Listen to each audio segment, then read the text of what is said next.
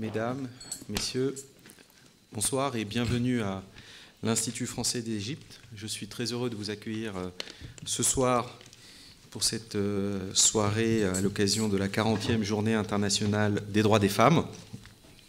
Dans quelques instants, euh, nous aurons l'occasion d'écouter une, table ronde qui fera l'état des lieux des mouvements féministes en Égypte après la Révolution.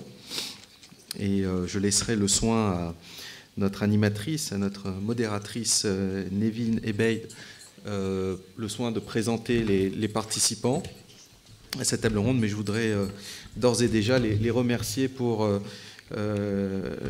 leur présence ce soir parmi nous. Nous avons décidé ici à l'Institut français d'Égypte à Mounira et en parallèle en ce moment même à Alexandrie nos collègues euh, organisent également un, événement euh, autour de, la Journée internationale des droits des femmes, parce que nous considérons, au-delà du rituel de cet anniversaire, que c'est un sujet qui est important et qui doit être au cœur de nos réflexions, de nos politiques et de nos pratiques.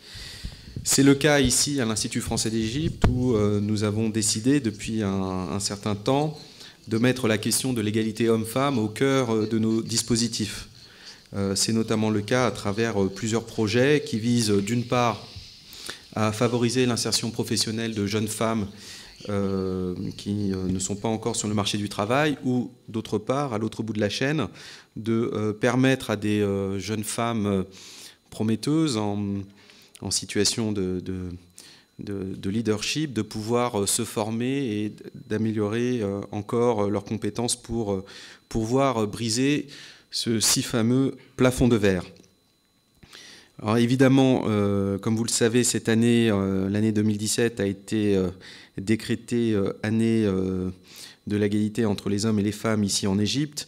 Et donc je pense qu'il sera important, lors de cette table ronde, de pouvoir faire cet état des lieux et pouvoir comprendre ce qui a été fait depuis plusieurs années et ce qui reste encore à faire. Mais je voudrais tout de suite, et ce sera deuxième partie de mon propos, euh, corriger euh, euh, un risque de mauvaise interprétation.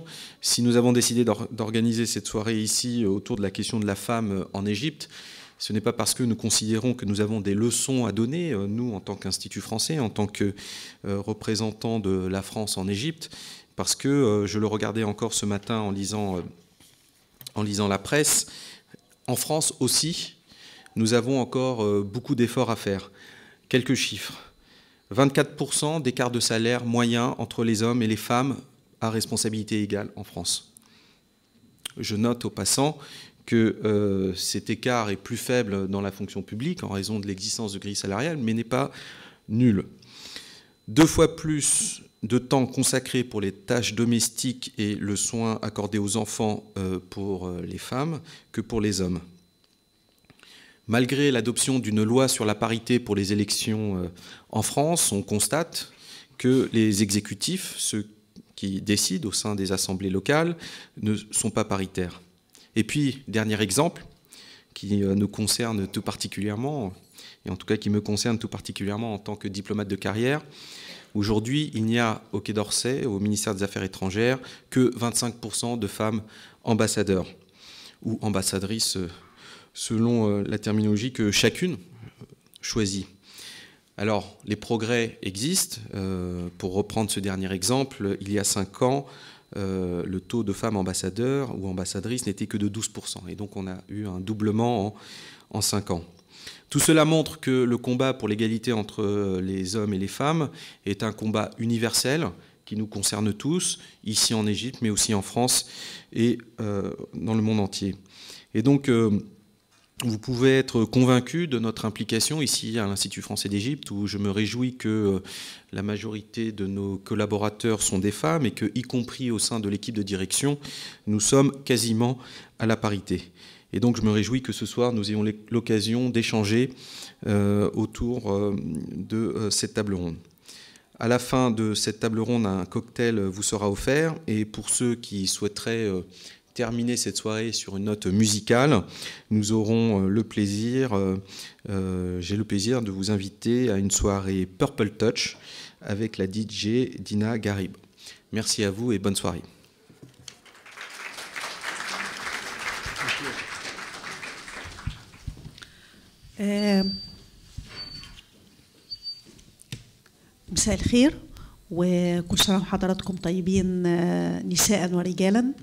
إحنا يعني عندنا قناعة شديدة إن يعني المساواة أو الحرية تحرير الرجل مرهون الحقيقة بتحرير النساء. آه، وبالتالي إحنا يهمنا إن يكون يوم المرأة العالمي هو يوم في رسالة للمساواة بين الجميع وبيراعي فعلا المساواة بين الاختلاف وبيحترم التنوع. آه، أنا بشكر طبعا المعهد الثقافي الفرنسي آه، على يعني دعوته في إن إحنا ننظم هذا اللقاء آه، هنا في في هذا اليوم. والحقيقة ده آه، يعني بيفرض آه، أو مؤشر إيجابي جدا في إن يكون في اهتمام حقيقي من المركز إن يكون في تناول لقضايا النساء. ونأمل دايما إن يكون في حرص دائم لإدماج قضايا النوع الاجتماعي في القضايا الثقافية وفي النقاشات الجادة. وعندنا أمل كبير إن إحنا حتى نقاشاتنا دي تطلع بعدد من التوصيات اللي نقدر نشور بيها أو يعني نقدمها كنوع من الاستشارات للمركز أو لكل المهتمين بقضايا النساء من أجل يعني تطوير أوضاع النساء والاهتمام بتحسين إدماجهم في مختلف المجالات والأنشطة اللي ممكن تكون آه، مجالات للنقاش في ندوات مختلفة. آم، الأمر الثاني أنا طبعا آه، أحب أحيي جدا آه، الزملاء يعني السادة الضيوف اللي معانا في في اللقاء. أستاذة نولة درويش والأستاذة نولة درويش الحقيقة ليها تاريخ آه، طويل جدا. هي أحد الناشطات في حركة الطلابية في السبعينات.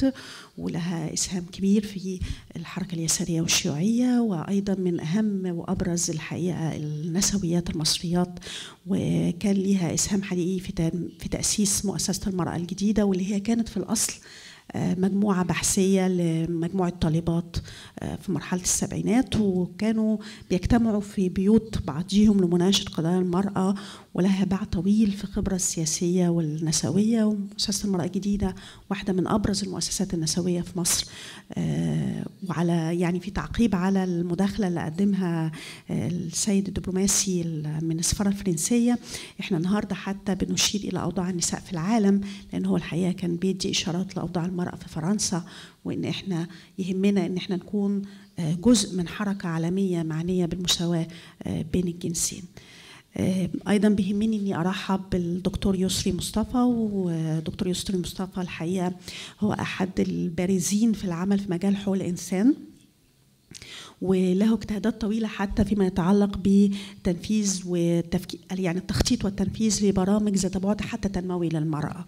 وأنا أعتقد إن يسري ممكن يكون بيقدم كمان رؤية نقدية كبيرة للحركة النسوية لأني أنا يعني متابعة يسري في كتابات سابقة قبل كده وهو ليه آراء ممكن تكون كمان يهم نسويات ونسويين كتير إن هم آه، يطرحوا نقاشات آه، حولها. آه، الحقيقة ال- اهميه المتحدثين اللي معانا النهارده أو اللي هيحاورونا النهارده في قضية يعني الحركه النسويه ومستقبلها في مصر. إحنا ما نقدرش ننكر ابدا إن مصر مرت بتجربة أخيرة آه، تاريخية الحقيقة في 25 يناير وما بعدها من حركة حراك جماهيري. نقدرش ننكر إن الستات خرجت واندمجت في المجال العام بشكل ملحوظ الحقيقة ولافت. دفعوا أثمان ثقيلة الحقيقة واكتسبوا بعض المكتسبات اللي رقموا بيها على سنين طويلة سابقة من النضال. لكن الحقيقة واضح أن المكتسبات دي في كل الأزمنة أو في كل وضع سياسي هي بتبقى رهينة آه، عوامل كتيرة الحقيقة ممكن إما تأكد عليها أو تهدد الحقيقة يعني آه، انسحاب هذه المكتسبات. آه، اللحظة الخمس سنين اللي عدت على مصر حقيقة مهمة جدا في إن إحنا كنسويين وكناشطات وناشطين في المجتمع المدني إن إحنا نفرض لهم مساحة الحقيقة في المناقشة. مش بس على مستوى إن إحنا نعرض إلى أي مدى شاركت النساء وحققت نسب مشاركة عالية لكن كمان في تقييم حالة المشاركة نفسها. لأن مش بالضرورة الحقيقة دايما إن إحنا نقول إن النسب المرتفعة أو لغة الأرقام قد تؤكد على تحسين أوضاع النساء. هناك رؤية نقدية الحقيقة لازم يكون آه، بيلحق بطبيعة المشاركة النسائية وبالظرف السياسي والاقتصادي والاجتماعي اللي ممكن تكون بتشارك آه، فيه النساء. السؤال الرئيسي اللي ممكن نفتح بيه نقاشنا الحقيقة هو كيف يقدر أو كيف يقدم المتحاورين معنا والمتحدثين معنا اللحظة الراهنة أو هم شايفين الصورة الحالية في مصر إزاي وطبيعة الحراك النسوي اللي موجود هل إحنا شايفين إن مثلا النسبة العالية في تمثيل النساء في البرلمان في ضوء إن إحنا قد يكون لنا قراءة مع أو غيرها لأداء البرلمان هل ده يحتسب في رصيد الحركة النسوية؟ هل مثلا إذا قرأنا الدستور النسخة الأخيرة أو الدستور الأخير اللي تم الموافقة عليه بنسبة ارتفاع نسبة عالية جدا من المشاركة وكانت النساء الألفت يعني في في الصفوف في الصفوف, في الصفوف التصويت عليه بنعم. هل الدستور بكل ما أتى به إلى النساء هو يصب في رصيد الحركة النسوية أو الحركة النسائية وهناك فرق بين الاثنين؟ هل في هناك توقعات أن يكون في ممارسة أكثر كما وكيفا للنساء. كلها الحقيقة أسئلة محتاجة مننا إن إحنا يعني نفتح أذهاننا في إن إحنا نقدم فعلا رؤى نقدية ونشوف إزاي ممكن يكون في critique حقيقي لما نتصور إن هو حركة نسوية في مصر أو حركة نسائية في مصر. بنبدأ الحوار الحقيقة مع الأستاذة نولة درويش. نولة إحنا يهمنا إن إحنا نشوف قراءتك للوضع إيه وخاصة للخمس سنين اللي فاتت قبل ما نشوف تقييمنا للحركة النسوية. وقدامنا ندي مداخلة حوالي عشر دقايق في الأول وبعد كده هنعيد ال rotation تاني. ميرسي أشكرك. اتفضلي. En fait, euh, les femmes ont apporté sur leurs épaules un très lourd fardeau, un double fardeau en fait, euh, du fait de leur condition de femme. Être femme, ça veut dire, euh, suivant les normes produites euh, socialement, ça veut dire faire un double travail toute la journée et même une partie de la nuit. Beaucoup de femmes travaillent, mais beaucoup de femmes ne sont pas rémunérées pour ce travail. Par exemple, il y a beaucoup de femmes, surtout dans les zones rurales, qui travaillent pour la famille et qui ne sont pas payées. Euh, beaucoup de femmes ne, jouissent pas de la protection de la loi.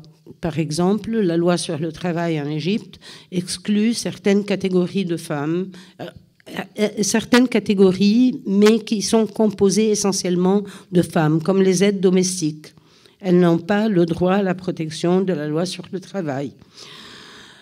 Les femmes aussi euh, euh, subissent euh, beaucoup de, vexations sur les lieux de travail, que ce soit des vexations morales, que ce soit du harcèlement sexuel, que ce soit beaucoup d'autres formes de, relations injustes entre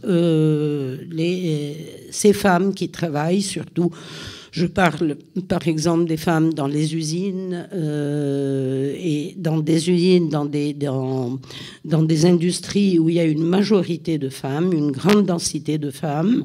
Euh, les femmes ne sont pas euh, surveillants, mais les surveillants sont des hommes. Ça, nous le savons.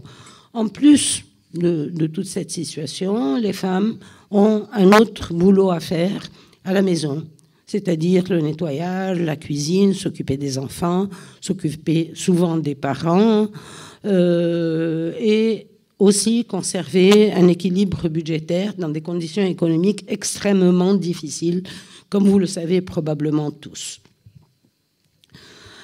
Bon, euh, et bien entendu, ce rôle à la maison n'est pas rémunéré, il n'est pas reconnu ni par la famille, la valeur de ce rôle n'est pas reconnue ni par la famille, ni par la société, ni dans les statistiques officielles. Personne n'en parle. Ça, c'est la nature des choses. Les femmes sont nées pour faire ça. Donc, euh, malheureusement, malheureusement, euh, beaucoup de femmes euh, pensent que c'est normal, que cette situation est normale. Elles ne voient pas l'injustice euh, à laquelle elles sont exposées parce qu'elles sont le produit d'une culture sociale, parce qu'elles elles ont été éduquées comme ça, parce qu'il y a beaucoup d'intermédiaires qui les forment dans cette voie, que ce soit au sein euh, de l'institution de la famille, les médias, les, les curriculums euh, scolaires, etc. etc. Et surtout que cette culture, elle est portée vers la discrimination, vers le, culte de la hiérarchie, vers le machisme et les concepts de suprématie de certains vis-à-vis -vis des autres. Nous sommes dans une société très pyramidale. Depuis la moitié des années 80, il y a eu euh, des, petites organisations euh, féministes qui se sont appelées féministes, qui ont commencé à émerger en Égypte et euh, à s'occuper de la situation des femmes. Et puis, de plus en plus, il y a eu une spécialisation dans euh, ces organisations. Certaines se sont occupées de la violence euh, contre les femmes, d'autres sont occupées des problèmes des femmes au travail, d'autres les statuts personnels, etc. Il y a même une, une, amie qui devait venir ce soir et qui, son organisation, s'occupe de réécrire l'histoire sous une optique féministe. Euh, est-ce que nous pouvons dire qu'il y a un mouvement féministe en Égypte? Personnellement, je ne le pense pas. Euh, beaucoup de, gens parlent d'un mouvement féministe en Égypte. Euh, en fait, nous sommes un nombre très limité d'organisations féministes. Et quand, quand on parle d'un mouvement, il y a certaines conditions qui doivent exister pour qu'on puisse parler d'un mouvement. Et je vais donner quelques exemples de, ces conditions. La faculté euh, de travailler ensemble, de travailler collectivement, c'est une, condition très importante. Euh, la faculté de développer une stratégie d'action, euh, avoir un potentiel de continuité et posséder un certain degré de créativité et de diversité dans les moyens de résistance et d'autres euh, conditions qui, à mon avis, euh, n'existent pas aujourd'hui encore. Euh, et pourtant, il y a eu beaucoup de tentatives pendant les 20 dernières années de créer un embryon de mouvement, mais en fait, ça n'a pas vraiment réussi. Ça n'a pas réussi pour des questions subjectives, euh, qui se rapportent à ces organisations mêmes, mais aussi pour des conditions objectives et extérieures qui se rapportent à la répression et euh, nous avions une autre collègue qui devait parler ce soir de la répression contre les organisations féministes en Égypte. Euh, il y a beaucoup d'organisations qui ont été euh, mises sous séquestre, beaucoup d'activistes féministes qui ont été empêchés de, voyager. Il, y a, il y a de vrais problèmes. Mais nous euh, remarquons que depuis euh, la première décennie du, 21e siècle, c'est-à-dire euh, et plus précisément depuis 2005-2006, il, y a, il y a eu un sursaut chez les femmes et il y a quelque chose qui a changé. Et je donnerai un exemple très, très frappant. En 2006, il y a eu une très grande grève euh, des ouvriers du textile dans la ville de Mahal al-Kobra. Euh, c'est une grande usine euh, où il y a 26 000 ouvriers, et dont 3 000 femmes. C'est les femmes qui ont commencé la grève, et puis elles se sont dirigées vers les hangars des hommes, et elles leur ont demandé de se rallier à la grève. Et pour la première fois, alors que les femmes étaient toujours euh, derrière les hommes, à les supporter, à les aider, à leur préparer à manger. Pour la première fois, les femmes sont entrées dans les négociations directement et au lieu d'être derrière les hommes, elles ont été à côté des hommes. Et ça, c'est un changement qui, a été très important, euh, au moins pour nous, pour notre organisation. Quand nous avons vu ça, nous nous sommes dit, bon, il est temps de commencer à travailler sérieusement avec les ouvrières. Euh, nous n'oublions pas non plus qu'il euh, euh, y a beaucoup de groupes de jeunes femmes euh, aujourd'hui qui commencent à se rebeller contre cette hiérarchie, contre des normes désuètes, contre beaucoup d'habitudes de, et de coutumes qui ne sont plus acceptées par ces jeunes femmes. Et euh, euh, n'oublions pas non plus que l'appel pour janvier 2011 a été fait par des femmes, Isra Abdel Fattah et Asma Mahfouz, essentiellement. Bien sûr, c'était à travers euh, le Facebook, mais elles se sont trouvées toutes les deux tout de suite sur la place Tahrir et beaucoup de gens se sont ralliés à elles. Euh, nous avons vu aussi de grandes manifestations de femmes depuis 2011 qui ont refusé toutes les formes de harcèlement sexuel qui se sont passées au cours des années et pendant les manifestations, les grandes manifestations. Euh, il y a eu des tentatives de harcèlement sexuel, il y a eu des tentatives de viol, il y a eu même des viols euh, qui, ont eu lieu.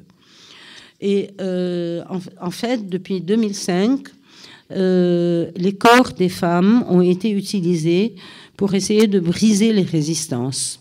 Les résistances des femmes, mais aussi les résistances des hommes. C'est un moyen de manipulation. Euh, donc, moi, je compte le plus sur les jeunes, sur les jeunes femmes et sur les jeunes gens.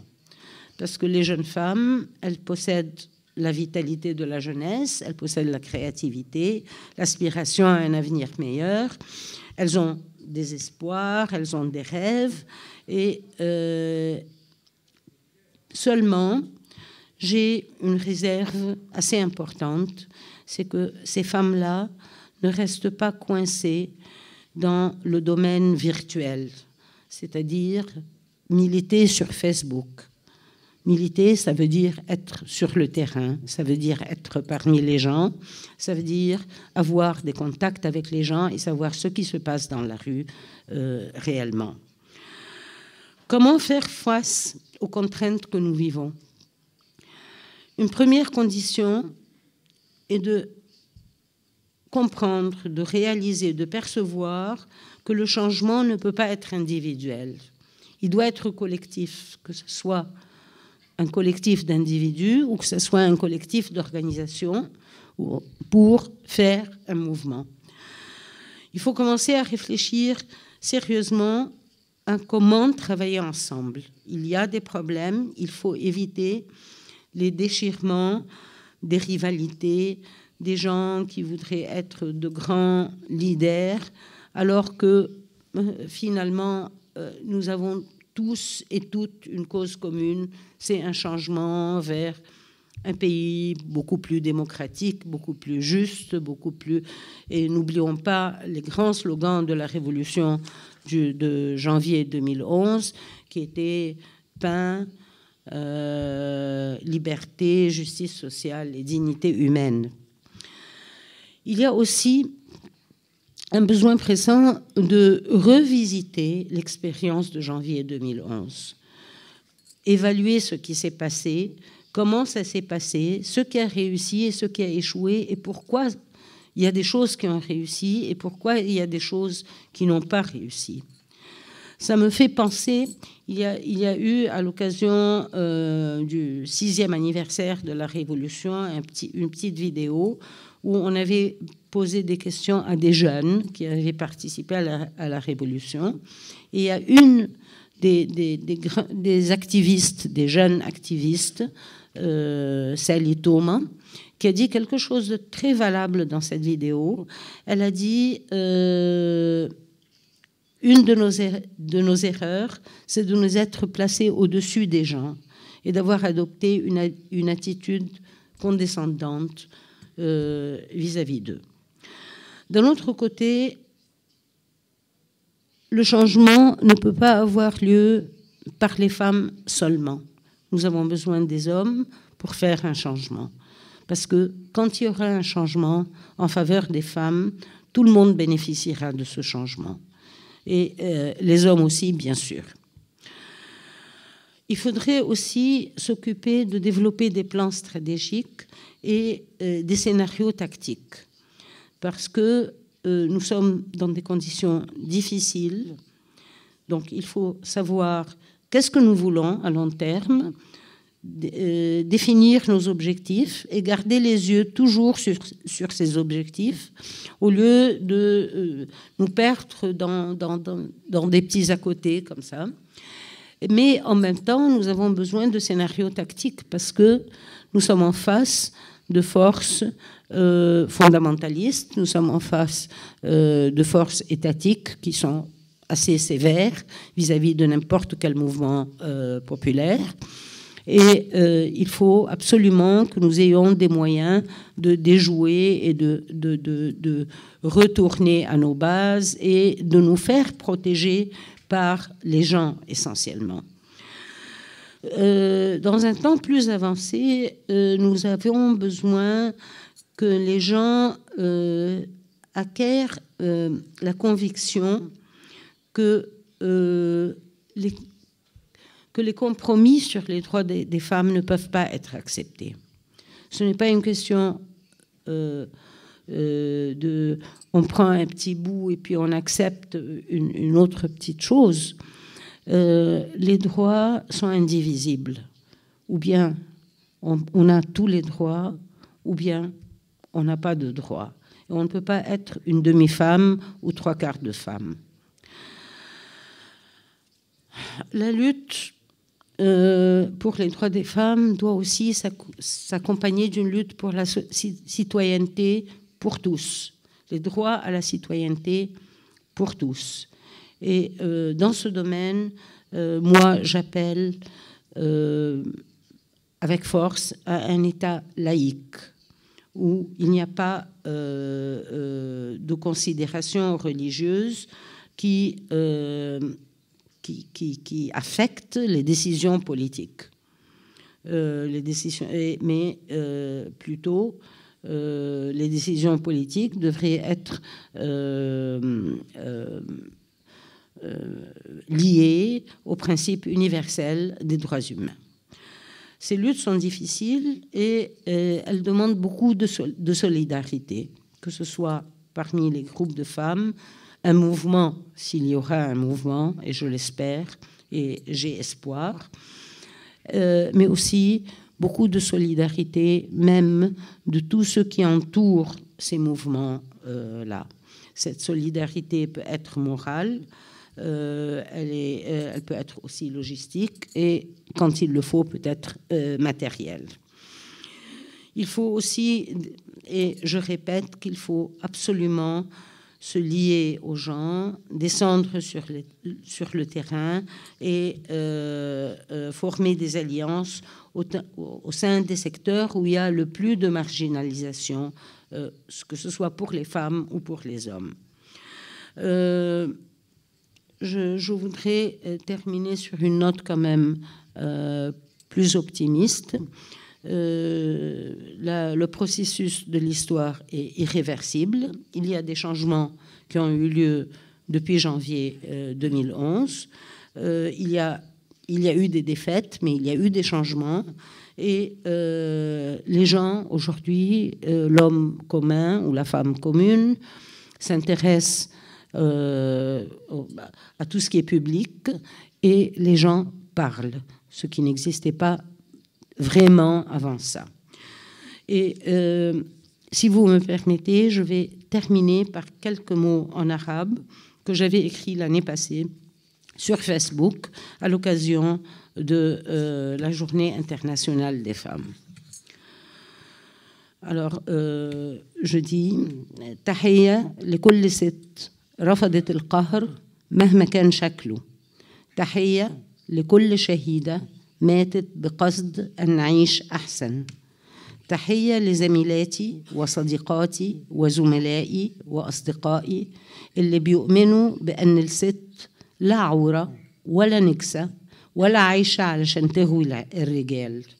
تحياتي لكن ولكم جميعا. في يوم المرأة العالمي اللي تم تكريسه لأن عاملات في نيويورك في نهايات القرن التاسع عشر رفضوا القهر لهن وللرجال وتم قتلهن وقهرهن بأبشع الصور. ومعنى هذا أن النساء يمتلكن رؤية أوسع للحياة وأن نضالهن من أجل الحياة آه، للجميع. تحية لكن ولكم جميعا وكل عيد مرأة أو أي عيد ونحن طيبات وطيبون وشكرا. بس آه، يعني إحنا علشان مقتنعين بأن لازم يكون عندنا gender perspective for men and women فإحنا نتعامل مع الدكتور يسري بالمثل. وهنديه هو كمان حوالي من عشرة لربع ساعة كمداخلة أولى. بعد كده هو ندير نقاش آه، أوسع فيما بيننا. اتفضل يا شكرا شكرا نيفين مساء الخير. أنا هتكلم بالعربي. وطبعا لازم أبدأ بالشكر للمعهد الفرنسي على الفرصة إن إحنا نلتقي ونتكلم مع حضراتكم. آه في الحقيقة أنا طبعا هكمل شوية من بس من منظور تاني على الكلام بتاع آه آه نوله آه وهدي بعض الفرضيات يعني فرضيات حصلت خلال الفترة اللي فاتت وهي ما زالت غير. يعني آه خاضعة للاختبار. إيه التحولات الكبرى اللي حصلت؟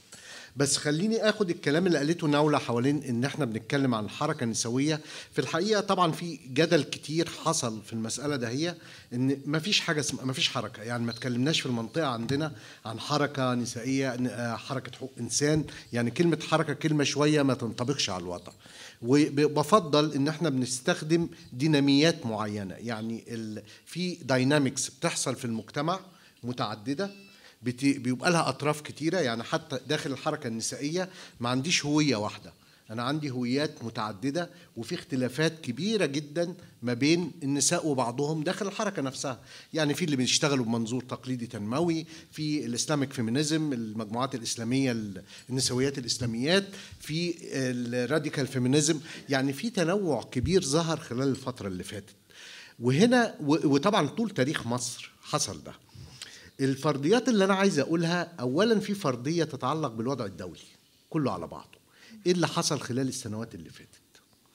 إحنا لو بصينا من نهاية الثمانينات مع انهيار الاتحاد السوفيتي وعقد التسعينات كله العقد ده كان الأكثر ثراء مش بس في مصر على مستوى العالم وفي المنطقة العربية اللي اتشكلت فيه كل القصة اللي إحنا بنتكلم اتبلورت فيه أكتر القصة اللي بنتكلم عنها دلوقتي.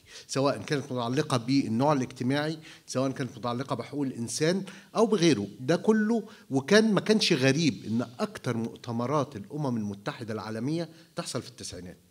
يعني كان آخر حاجة مؤتمر العنصرية حصل 2001 بعد أحداث آه، وقتها حصل بعدها أحداث 11 سبتمبر في أمريكا وتوقفت المسألة. لكن الزخم اللي حصل كان في التسعينات. ليه؟ لأن بعد انهيار الاتحاد السوفيتي حقوق الإنسان وقضايا التنمية والنوع الاجتماعي وغيره بقى جزء من العلاقات الدولية جزء أساسي في تركيبة العلاقات الدولية. فجي دعم دولي وكان لو لاحظتوا إن بعد كل مؤتمر طبعا ما اتكلمش عن المرأة الجديدة لأن هي الأقدم من المنظمات اللي اتشكلت مبكرا لأن الفكر النسوي هو قديم يعني بدأ من من الثلاثينات وإحنا يمكن قبل كده. لكن أنا بتكلم على اللي بيسمى المجتمع المدني أو المنظمات غير الحكومية بالمعنى اللي شفناه ده. فاللي حصل في الحقيقة إن اهتمام المجتمع الدولي ادانا الزخم ده. وكان بعد كل مؤتمر بتظهر موجة من المنظمات. يعني مؤتمر الطفل ألاقي منظمات طفل. مؤتمر المرأة في بكين ألاقي منظمات. مؤتمر حقوق الإنسان في فيينا ألاقي منظمات حقوق الإنسان اتشكلت. فاتبلورت عندي المسألة ده هي في التسعينات. اللي حصل بعد كده إن بطل حقوق الإنسان بالمعنى الكامل يعني فضلت موجودة لكن الثقافة دخلت في مجال العلاقات الدولية. وده بعد ما زاد الكلام حوالين صراع الحضارات وحوار الحضارات وغيره فابتدت يهتم العالم بالثقافة أكتر.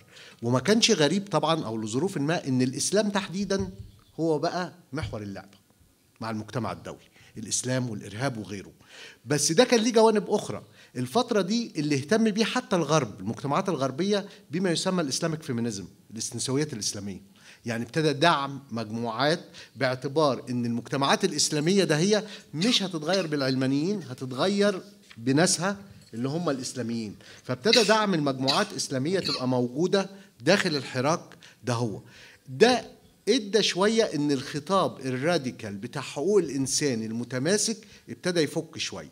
بيفك بمعنى إيه؟ إن المرجعية ابتدى يخش لها مرجعيات تانية. لما بتكلم عن نسوية إسلامية فأنا ده بيدور على مرجعيته ومجموعات تانية بتدور على مرجعيتها. فما عادتش اللحظة بتاعت التسعينات اللي هي كانت لحظة راديكالية جدا إن أنا متمسك بالسداو بشكل كامل أو باتفاقات منع التمييز بشكل كامل إن يحصل عندي تحول.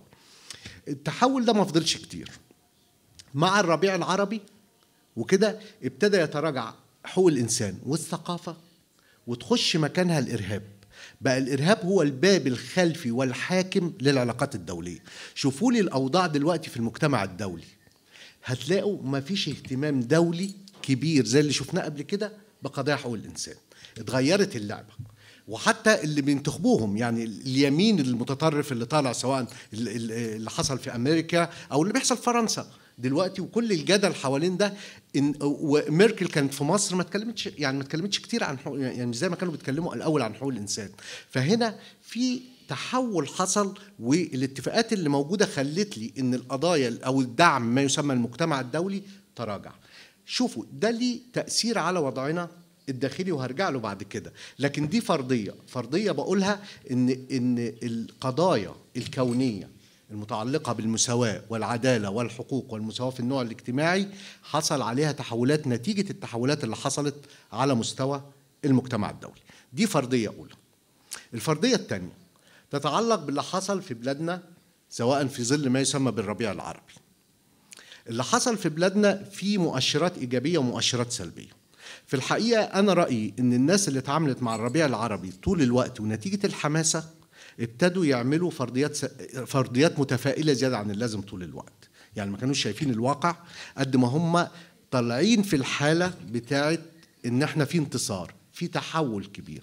في الحقيقة إن اللي كان يقرأ المؤشرات الواقع مين يقول بالضرورة إن كل اللي جاي إيجابي؟ ما هو في تحولات سلبية قائمة وموجودة في المجتمع. انت لسه عندك نسبة وعي شكلها كذا. يعني أنا شخصيا من يوم موقعة الجمل شفت مؤشر مكتوب على مجلس الدولة يخليني كنت أحط علامة استفهام على طول. يعني في اليوم ده تحديدا كان مكتوب على مجلس الدولة تسقط سوزان مبارك وقوانين الأحوال الشخصية بسبراي فمعناها إنك أنت في الزخم اللي طالع عندك ناس ربطوا الأحوال الشخصية اولا بسوزان مبارك يعني وهو هو في الحقيقة يمكن ضد الأحوال الشخ... ضد إصلاح الأحوال الشخصية أكتر ما هو ضد سوزان مبارك. يعني أو بيكره سوزان مبارك لأن هي لعبت دور في إصلاح الأحوال الشخصية. ففي مؤشرات كانت موجودة. لكن اللي حصل في الربيع العربي كافتراض هي سقوط الشرعيات بشكل كامل. كل الشرعيات سقطت بشكل كامل وما زال حتى الآن. بمعنى إيه؟ بمعنى إذا كنا بنتكلم عن دولة إسلامية في التسعينات ومع صعود الحركة الإسلامية في الحقيقة اللي حصل بعد كده إن ما حدش دلوقتي هيتكلم عن دولة إسلامية. خلصت. يعني خلصت بره بقت بره التاريخ فكرة وجود دولة إسلامية أو الرهان عليها. زائد كمان إن فكرة الدولة اللي إحنا عايشين في ظلها كمان هي دولة فاقدة الشرعية. يعني بمعنى إن دولة بتناضل بكل ما أوتيت من أوتيت من قوة إن هي تستعيد شرعية راحت. الناس مش مقتنعة. الرهانات على إن في حزب جماهيري كبير بيدعم دولة مش موجود. ففي تحولات كده. واللي عايز أقوله كمان وللأسف إن أنا بقول ده إن حركة المجتمع المدني بما فيها حركة حقوق الإنسان فقدت شرعيتها. هي كمان. إحنا عيش عايشين في فراغ موجود. في مكتسبات بتحصل. يعني بمعنى إيه؟ لما بتكلم عن ديناميات ديناميات الشباب بقت أوسع من حركة أطر المنظمات اللي كانت موجودة. وأديكم مثال على كده. إن مثلا لما نيجي مناهضه حركة مناهضة التحرش الجنسي. حركة مناهضة التحرش الجنسي ما بدأتش باعتبارها NGO أو منظمة. ده في ديناميات واسعة جدا حصلت في المجتمع. واللي أنا كنت بقوله إن الشباب اللي عملوا كده ما كانوش بخلفية أيديولوجية يعني بنقول عليه ideologically oriented ما كانوش موجهين ايديولوجيا يعني ما عنديش حد بيقول أنا إسلامي وحد بيقول أنا ماركسي وحد بيقول أنا كذا. لكن كان في مجموعات هي اللي نسميها task oriented يعني هو متفق على مهمة هو ضد التحرش. ما تسألنيش بقى عن خلفيتي إيه. إحنا ممكن بنت خلفية إسلامية مع بنت خلفية علمانيه مع ماركسية مع كذا الاثنين بيتقابلوا ومجتمعين على فكرة إن هم ضد الإيه؟ ضد المسألة ده هي. وده اللي بيخليني بقول مع سقوط الشرعية هي سقوط الأيديولوجيات الكبرى. يعني أي حد بيتكلم عن قومية حد بيتكلم عن ماركسية حد بيتكلم عن أيديولوجيا كبيرة دي كلها ما عادتش ليها مكان دلوقتي. أنت لازم تتعامل مع ديناميات هي ضمن العصر بتشتغل على فكرة المهمة. إحنا عندنا مهمة عايزين نعملها. ودي ذهنيات أتوقع ودي فرضيه برضه. ذهنيات الشباب. إيه المهمة اللي إحنا هنعملها مع بعض؟ هنبقى مع بعض في ده. بس مش هنحاكم بعض ايديولوجيا طول الوقت. مش هنعمل الخناقه القديمه قومي ماركسي ومش عارف إيه وكل القصة ده هي. ده تحول موجود كبير. ليه تأثير على حاجة تاني برضو بقولها فرضية وليها علاقة بتكنولوجيا الاتصال والحاجات ده هي. إن مع سقوط الشرعية بالمعنى ده فكرة ال representation فكرة التمثيل. يعني أنا يسري مصطفى رئيس مجلس إدارة حقوق الإنسان ما عادش ينفع. يعني ما عادش ينفع إن حد يمثل حد. حد يقول أنا زعيم الحركة النسائية أو. زعيم الحركة النسوية أو زعيم حركة حقوق الإنسان أو زعيم مش عارف إيه. كل ده انتهى. في التسعينات كان وارد. كنا نلاقي رموز للإيه؟ للمسألة. دلوقتي ما عادش في رموز. وك... وعلى المنظمات وعلى الفاعلين إن هم يغيروا نفسهم ويشتغلوا زي ما بقول دايما زي نوكيا كده. نوكيا كونكتنج بيبول يعني أنت ما بتمثلش أنت بتربط ناس ببعضيها. الشاطر اللي يقدر يعمل ال connection الشاطر اللي يقدر يعمل facilitation الشاطر اللي يقدر ينظم الناس مع بعضيها. لكن الرهانات القديمة على فكرة إن أنا بمثل اتجاه أنتوا بصوا على كل الهيئات اللي هي ليها طابع تمثيلي. حتى البرلمان. البرلمان بتاعنا فاقد الشرعية هو الآخر. بمعنى إن هو ما هوش البرلمان القوي الممثل بشكل حقيقي لا أحزاب ولا برلمان ولا كذا. ولكن في ديناميات وفي حركة موجودة في المجتمع المفروض إن إحنا نتعامل معاها. الفرضية الرابعة يمكن اللي بقولها واللي هي ليها علاقة بالمرأة بشكل مباشر. المرأة ليها وضع طبقي بمعنى إن في نساء من طبقات مختلفة. مشكلتنا والوتيرة بتحصل بشكل سريع في اللي أقدر أسميه social apartheid الفصل العنصري الاجتماعي. بمعنى إن أنا مش هقدر أحاكم الستات كلهم أو أقيم موقفهم بشكل واحد. أنا عندي ناس في طبقات اجتماعية معينة ممكن يبقى عنده يحظى بحقوق وعلاقات القوة مختلفة حتى مع الراجل. علاقات القوة مختلفة. وعندي وضعية تانية في طبقات فقيرة في الحقيقة هو هيفضل يشيل الهم بتاع غياب الدولة غياب الحماية غياب الخدمات غياب كذا هيشيل هم المسألة ده هي. غياب كل أمراض المجتمع الأبوي والذكوري هتنزل فوق دماغ الإيه؟ الناس دي. مش بقول اللي في الطبقات العليا مش بالضرورة إن هم إن هم ما بيعانوش. لا هم بيعانوا. ولكن وتيرة الفصل العنصري الاجتماعي بشكل سريع. أحياء غنية كومباوندز مقفولة كذا. خدمات بتتقدم في تعليم بشكل مختلف فده كل وناس فقيرة بره المسألة ما عندهاش خدمات. هنا دي المنطقة تحديدا اللي هيبقى فيها مشكلة مشكلة النساء بشكل العنف بشكل الأكبر اللي إحنا المفروض نتعامل معاه. فدي برضو إن لأي لأي حد الاوضاع الاقتصادية والاجتماعية في وتيرتها السريعة ده هي هتعمل لي أماكن حيز ممكن الشخص يلاقي فيه حقوق ويلاقي فيه خدمات وحيز الدولة مش هتهتم بيه أصلا. مش هتديله خدمات ولا هتهتم بالمسألة دي. ده حصل في العالم مش بس في مصر حتى في تونس. يعني في تونس برضو نفس المشكلة. يعني مش بنات أو الناس اللي موجودين جوه تونس العاصمة. لا روحوا شوفوا الجهات. الناس تطلع بره تونس العاصمة وهتشوف إن تونس اللي بيتكلموا عن إن هي أحسن اوضاع في المرأة في الحقيقة لأ. في عنف في تمييز شديد جدا ضد النساء في الإيه؟ في الأماكن ده هي. فهنا مسألة هخلص بسرعة. فمسألة الفصل العنصري دي برضو فرضية تانية علينا مطروحة للنقاش إلى أي حد بتأثر على النساء. النقطة اللي, اللي عايز أطرحها كمان في المسألة ده هي ودي يمكن لصالح النساء أكتر من هي لصالح ضدهم إن في الحقيقة الأزمة اللي موجودة مش بس أزمة إن النساء مضطهدات. في الحقيقة من زمان ومن فترة طويلة المجتمع أو السلطة الأبوية مهزوزة. السلطة الابويه بتتاكل عمالة بتحارب معركتها الأخيرة في التاريخ مع الستات. حتى لو ظهر إن هي بيقهروا الستات هو في الحقيقة بيقهر لأنه بقى أضعف. يعني بقى في موقف أضعف. يعني كل التحولات اللي هي تفوق اللي عملته منظمات المرأة أو غيره اللي هي حاجات متعلقة بالتكنولوجي الجديد بالمسائل في وسائل الصحة في التعليم في كذا غيرت موازين القوى. ففي الحقيقة إن الرجالة نفسهم بقوا في أزمة وكل ما يبقى في أزمة بيبقى عنيف. ولما يكون عنيف يعني الوضع اتغير وهو مش قادر يتغير. ماشي؟ وده اللي يخليك يقول لك ليه أعلى معدلات طلاق موجودة؟ كان زمان بالمناسبة لو هو بيقهر الست قاعدة جوه البيت مش هتتطلق. موجودة. لكن دلوقتي بين الشباب الصغير أعلى معدلات طلاق بسبب إن الموازين اختلت. في وضعية للنساء اختلفت وفي ذهنيات ما اتغيرتش. فالاثنين مش راكبين على بعض. لكن هو الراجل مأزوم بمعنى سلطته عمالة تتاخد تتاخد منه. ما عادش زي الأول ما عادش السيد يعني. بس السيد دلوقتي في تشالنج قدامه. فهو عمال يقع هو بيكون في أوقات معينة عنيف عنيف جدا.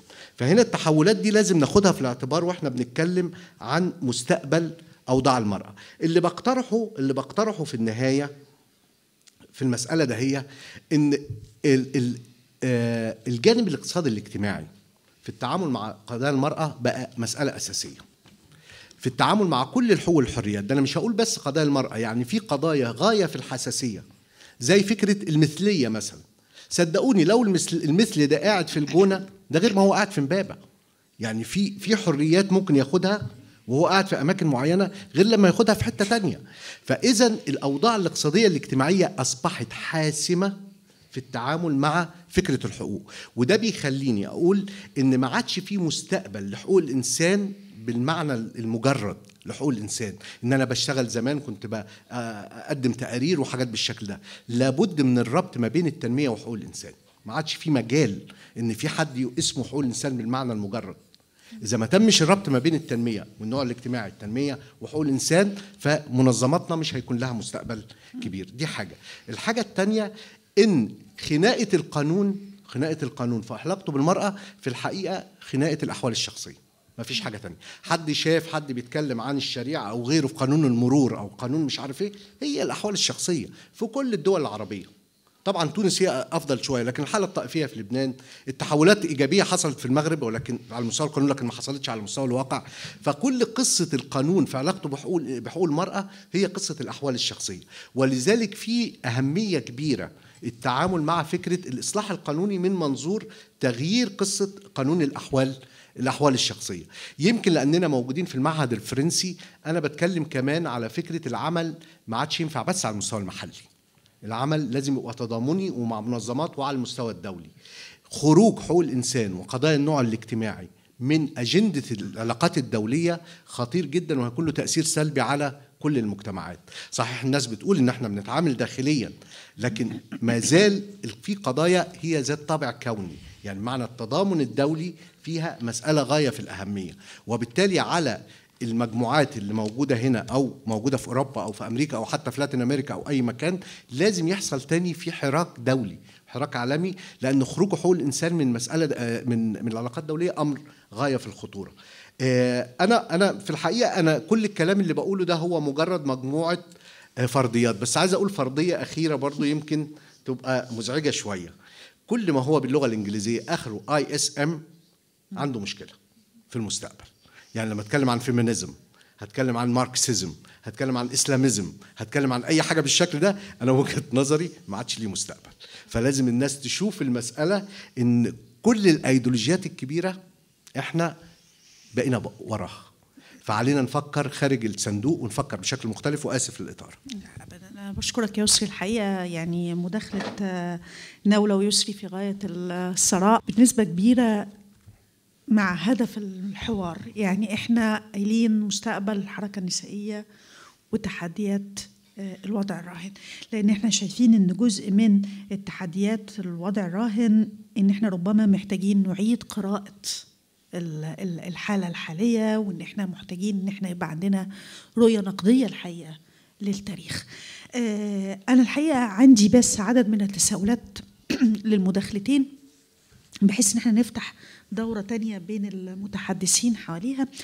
أنا بتصور آه وال... لا القاعة الساعة 8 ف آه أنا بتصور إن مصر شهدت محاولة لتكوين حركة نسائية. يعني أنا ما أقدرش أنكر مثلا الحقبة هدى الشعراوي وتأسيس اللجنة النسائية بحزب الوفد محاولة مش محاولة تاريخ إدماج النساء في مواجهة الاحتلال الإنجليزي حتى حتى فيما يتعلق بمرحلة السبعينات آه، خروج ال- والستينات خروج النساء للكفاح آه، اندماجهم حتى في حركات الفدائية آه، مين يقدر ينكر مثلا دور درية شفيق آه، في الاعتصام أو الاعتصام نسائي مثلا على سبيل المثال آه، حصل في نقابة الصحفيين من أجل آه، المشاركة السياسية الحصول على الحق في التصويت. يعني في رصيد أنا بتصور إنه رصيد تاريخي مرحلي مهم آه، إن إحنا كأجيال متتابعة ما ننساش النظرة على على المشهد ما ننساش شخصيات زي منيرة ثابت ما ننساش شخصيات زي آه، يعني وداد متري آه، في علامات يعني في التاريخ المصري من الحركة ال- وكانوا بيتبنوا خطاب مش نسائي على فكرة. يعني انجي أفلاطون آه، كانوا بيتبنوا خطاب نسوي يعني حتى فيها. لكن كمان أنا ممكن أتفق مع فكرة إن الحركة النسوية المصرية في لحظة ما العمل جزء من طفرتها في الخطاب هو التلاقي مع ال international advocacy الجهود الدولية أو حركة ال- الدول. يعني حتى هدى الشعراوي وده كلام كان في ثورة 19 وما بعدها كان لديها محاولة أن ونجحت في تمثيل الستات في أول مؤتمر دولي وراحت اتفاقية السيداو. لما بيتم الهجوم عليها أن اتفاقية السوا- السيداو جاية من الخارج وأنتم سلائل الخطاب الغربي الاستعماري و و إلى آخره. إحنا بنرد وبنقول إن الاتفاقية اتفاقية إنسانية واللي شارك فيها كمان وجوه مصرية زي ميرفت تلاوي وعزيزة حسين وبالتالي المصريين أطراف حتى في الخطابات الأممية يعني مش مش خطابات مستوردة تماما يعني لكن طبعا ما أقدرش أنكر إن في حركة ال international advocacy حصل زخم فعلا في التسعينات إدى دفعة كبيرة سواء على إنتاج بيجين يعني اتفاقية بيجين ومنهجها وحتى دلوقتي الاس دي جيز يعني الأهداف الإنمائية المستدامة وغيرها. آه، ال- اللي أنا حابة كمان ألفت النظر إليه يعني وهو ما أقصد أن أقوله في في الملاحظات اللي فاتت إن نحن نملك تاريخا برزت فيه النساء بروزا واضحه وتبنت خطابا تقدميا. في لحظة ما كانش فيه استوعاب مجتمعي و... وسياسي الحقيقة لوجودهم في المجال العام لكن هم فرضوا آه، بنسبة كبيرة. آه، إحنا ليه ما قدرناش نستمر أو ليه حصل التذبذب في التراكم ده؟ ده سؤال مهم وأنا أعتقد إنه بيشير بنسبة كبيرة لمداخلة نولة فيما يتعلق بإشكالية التنظيم. يعني إحنا دايما عندنا مشكلة الحقيقة في التنظيم. حتى تجربة الستات مع حزب الوفد في ثوره 19 وفي الثلاثينات أخفقت برضو بإشكالية في حزب في حزب الوفد وطلعوا العدليين والسعديين. يعني إحنا اجتهاداتنا السياسية الحقيقة آه، في البلد ما هياش ما تقدرش تقول عليها ما نقدرش نقول عليها بشكل واض- واضح إنها اجتهادات ناضجة. يعني لغاية دلوقتي إحنا ما عملناش اجتهاد سياسي ناضج في اطار في إطار في استقرار وتداول طبيعي للسلطة وممارسة طبيعية للديمقراطية. مصر لم تشهد التجربة دي حتى الآن. فبالتالي ده بيأثر على طبيعة التنظيم. أنا بتصور كمان أن الستات في الخمس سنين اللي فاتوا ده لازم يعني يتعمل عليه دراسة مهمة. قدروا يتنظموا في حركة نقابية. يعني في أشكال من النقابات المستقلة. صحيح أنا ما أقدرش أفترض إن الأشكال دي كانت قوية لأن أنا برضو ميالة إن الواحد يوصل لقناعات بناء على أبحاث أو دراسة. يعني آه، يعني اكتشاف حقيقي. يعني محتاج إحنا فترة الخمس سنين محتاجة دراسة الحقيقة مش محتاجة بس فكرة يعني إيه التوصل ل يعني آراء عمومية يعني. لكن حصلت حركة نقابات مستقلة في مصر. واندمجت فيها النساء. وأنا أذكر إن واحد من آه، مطبوعات المرأة الجديدة كان بيتكلم على إن النقابات المستقلة أقرت في لوائحها الداخلية 30% تمثيلا للنساء من مجالس الإدارة. وده حاجة متقدمة جدا ومعناها إن إحنا كنسويات وكناس مدافعات عن قضايا النساء الحقيقة قدرنا نأثر. في لحظة مد بنقدر نأثر. في لحظة اندماج بنقدر نأثر. لكن كون ان الوضع العام الوضع العام طبعا إحنا ممكن نكون أطراف فيه أو أضعف منه لكن في لحظة ما النسويات بيقدروا يب... حتى في رؤيتنا لحركات مواجهة التحرش الجنسي. وأنا بحييك الحقيقة يا يسري في إنك أنت تقول إنها كانت حركة شبابية أكبر من اطر المنظمات. لأن أتفق معك تماما إن إحنا الموجة اللي جاية لازم تكون موجة تنظيم مختلفة عما أدركناها سابقا. لكن ما أقدرش أنكر إن حركة الشباب برضو كانت بنسبة كبيرة هي مرتبطة بمنظمات تبنت خطابات العنف الجنسي من قبل 25 يناير. يعني يعني لو لم يكن هناك النجيم اللي كان عندنا أمل كبير إن ماجده تقدر تمثله معانا النهارده لولا توعكها الصحي. خلاص كان مقدم حالات تأهيل للمعنفات و وإلى آخره والحالات اللي شهدت الموبس أو الماس ريبس اللي شهدتها مصر أثناء المظاهرات كانت الحاضنات الرئيسية للحالات دي النجيم ونظرة والمرأة الجديدة و يعني هناك هناك ظهير من المنظمات اللي طلعت نتيجة بقى زخم التسعينات بتاع الحركة الدولية ونتيجة اجتهادات ناس. الحقيقة ابتدوا يعني أنا ما أقدرش أنكر المراه الجديده تحصل على إشهارها في 2004 بمقتضى حكم قضائي. يعني إلى أي مدى كانت النظم الحاكمة مرحبة يعني بحركة النسويين يعني النسويات يعني ما كانتش ما كانش في ترحيب أصلا حمله إقليمية ودولية عشان المراه الجديده تاخد الإشهار دلوقتي إحنا مهددين كلنا الحقيقة بقانون الجمعيات المغلق في في الكواليس ده لكن اللي أنا أقصد أقوله إيه بده كله؟ اولا أقصد أقول إن الخمس سنين محتاجين دراسات حقيقية ومقابلات متعمقة مع التنظيمات اللي كانت موجودة حتى لو تم تفكيكها. الحاجة الثانية الحركة النسائية لها جذور لكنها ممكن تاخد موجات. يعني هناك ويفز للحركة النسوية. في في رعيل جديد قادر يفكر إن في أبوية مرفوضة في هيراركيه مرفوضة في في في في رفض في استجابة بنسبة أو ائتلافا بنسبة. طبعا محتاج يكون في دراسة فيها لفكرة الأحوال الشخصية المدنية. يعني أنا أتفق معاك إن الأحوال الشخصية كانت الخناقه الرئيسية لأي تيار نسوي هي فكرة الأحوال الشخصية. لأن إذا اختل المجال الخاص هيختل المجال العام. الستات لما تتضرب في البيوت أنت متوقع تساهم في المجال العام إزاي؟ طبعا ده سؤال حيوي. لو أنا الست لو بنات من أول ما تبقى تتولد يبقى عندي إشكالية إن أنا عندي بنت مستنيها تبقى عندها تسع عشر سنين عشان أختنها؟ ومش قادرة أقلل النسب لغاية دلوقتي يبقى في إشكالية حقيقية في المجال الخاص للستات وللإناث. وده هينعكس قطعا على المجال العام. هتطلعهم يشتغلوا في السياسة إزاي؟ وهتطلعهم يبقوا مديرات إزاي؟ ووزيرات إزاي؟ لغاية دلوقتي مصر بتتكلم على إنها يا واو إحنا عندنا أربعة أربع وزيرات وكأنها حصة. خلاص؟ حتى مع التيارات الإسلامية الحقيقة واللي ده اللي لازم إن إحنا نلفت النظر إليه. التيارات الإسلامية حتى بتتعامل مع الديسكورس الخطاب النسوي باعتباره خطاب الرسمي خطاب الدولة يعني. ده مش صحيح الحقيقة. ده مش صحيح وهذا دي إشكالي. يعني أنا طبعا أدركنا وأنا أحب إن أنا أذكر هنا إن أول مسيرة ل 8 مارس نظمتها المرأة الجديدة بعد آه الثورة. خلاص. وكنا طالعين لسه قدراتنا على التنظيم هشة يعني فاكرين إن الميدان هيتقبل مسيرة نسائية وتعرضنا للتحرش والضرب. والضرب. يعني أنا أذكر إن أحد عضوات المرأة الجديدة كانت راجيه عمران كانت بتجري في الشارع ووراها إسلاميين وتفضلوا أهم بنات سوزان هتافات. بنات سوزان مبارك هم وتعرضنا لهجمة شديدة من التحرش والتحرش العنيف. يعني ما كانش لأن الحقيقة الخطاب يعني إلى حد ما طبعا الدولة كانت بتتعامل وقد تكون إلى الآن بتتعامل مع القضايا المرأة على إنها مسألة ديكوريشن يعني تزيين للواجهه الدولية ورافض للتحضر يعني معنى من معاني إن هذه الدولة متحضرة لكن حقيقة الأمر الخطاب النسوي كان دايما ضد السلطويه وكان ليه مطالب ديمقراطية وربما ناولة في مداخلتها اللي جاية لأن أنا أعتقد إن في اجتهاد كبير حصل من منظمات كتيرة حوالين الحق في التنظيم. بشكل بشكل رئيسي. أنا بقول المداخلة دي مش في إطار الدفاع خالص أنا مقتنعة تماما إن إحنا لا يجب أن ومقتنعة احيي جدا المداخلة المعنية بإن لابد أن يكون هناك ربط ما بين التنمية وحقوق الإنسان وما بين التنمية وقضايا النوع الاجتماعي إحنا لا يمكن أن إحنا نفضل نتحدث عن حقوق سياسية واجتماعية دون ما أن يكون هناك رؤية حتى للتنمية السياسية والتنمية الاقتصادية والتنمية الاجتماعية والتنمية الثقافية من قضايا النوع الاجتماعي. ربما نولة أنت محتاجة تردي على بعض مداخلة يسري. هل فعلا المؤتمرات الدولية كانت دافع حقيقي للحركة النسوية المصرية؟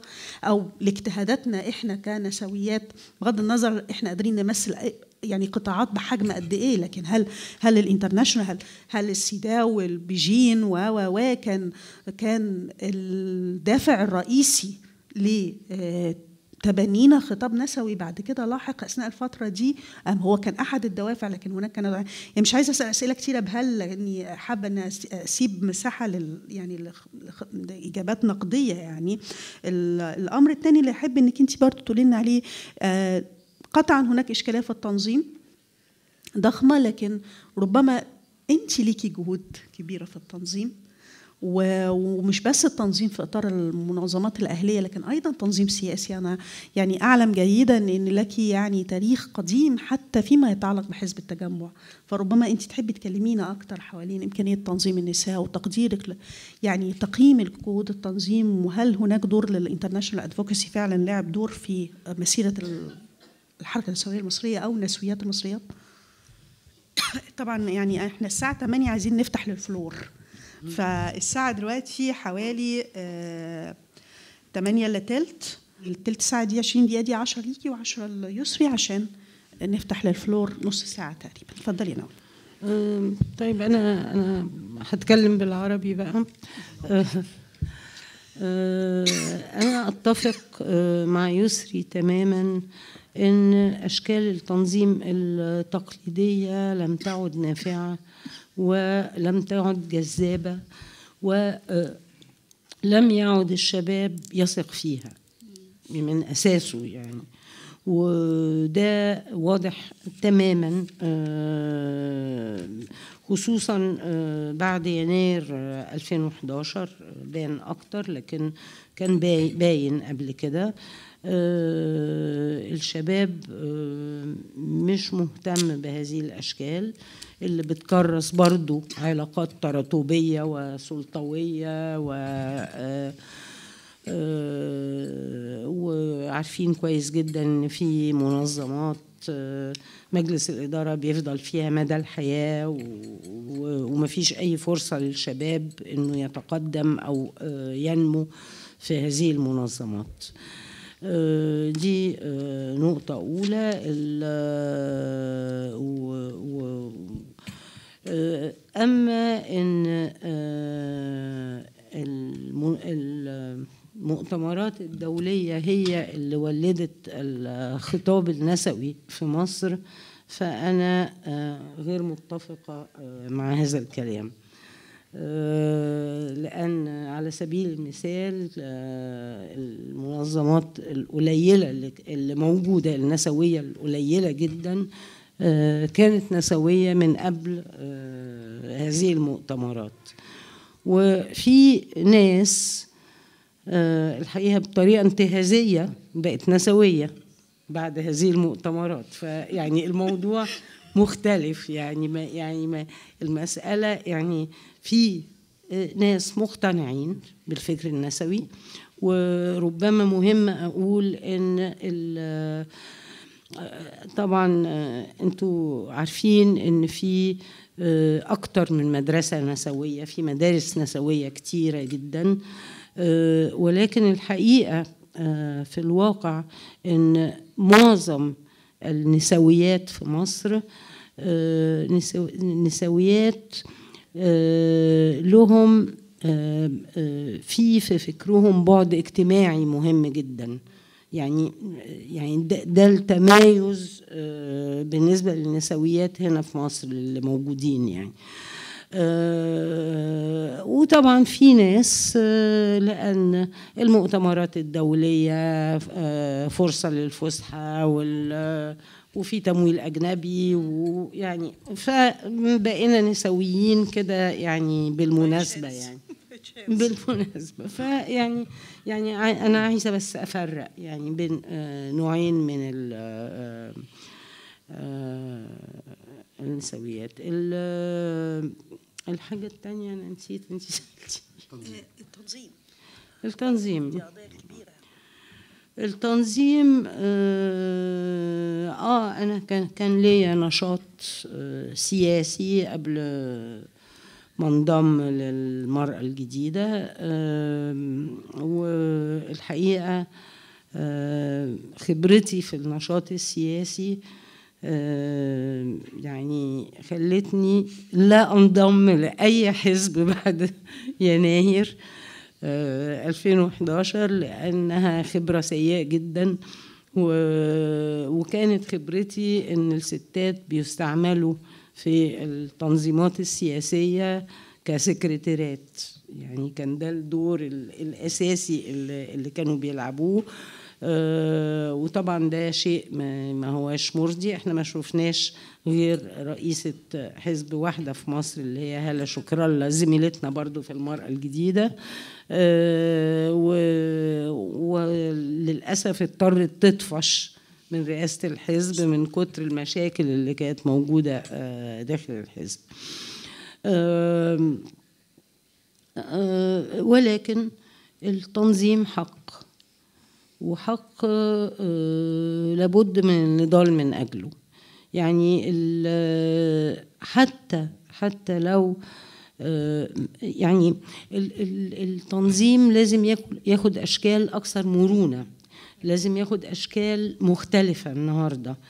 يعني إحنا شفنا يعني في في, نهايات التسعينات وبدايات ال- الألفينيات آه، إن الحركات الاجتماعية يمكن أخذت مكان أكبر من التنظيمات وابتدت تأثر آم، في سياتل في بورتو أليجري في آه، حتت تانية كتير. آه، ولكن حتى ده محتاج لقدر ما من التنظيم. يعني كان في حد بيقول طيب إحنا سيبنا الميدان في يعني بعد 11 فبراير 2011 ما كناش واخدين حتى أرقام تليفونات الناس اللي كانوا في الميدان أو طريقة الاتصال بيهم. يعني يعني قصدي أقول إن إن في حد أدنى من التنظيم ده آه، لازم يبقى موجود. في كمان آه، فئات من المجتمع محتاجة لمنظمات محتاجة لمنظمات تدافع عن حقوقها زي النقابات مثلا النقابات العمالية أو النقابات المهنية أو أو كذا. فدي أشكال من التنظيم آه، وأنا في النهاية مع الحق في التنظيم. أني تنظيم بقى؟ ده موضوع تاني. يعني آه، شكل التنظيم آه، ده موضوع تاني. وبالمناسبة أنا يعني يمكن بالمناسبة دي هتكلم شوية باقتضاب شديد عن آه، الشكل التنظيمي لمؤسسة المرأة الجديدة. لأنه شكل تنظيمي غريب بالنسبة للمنظمات التانية.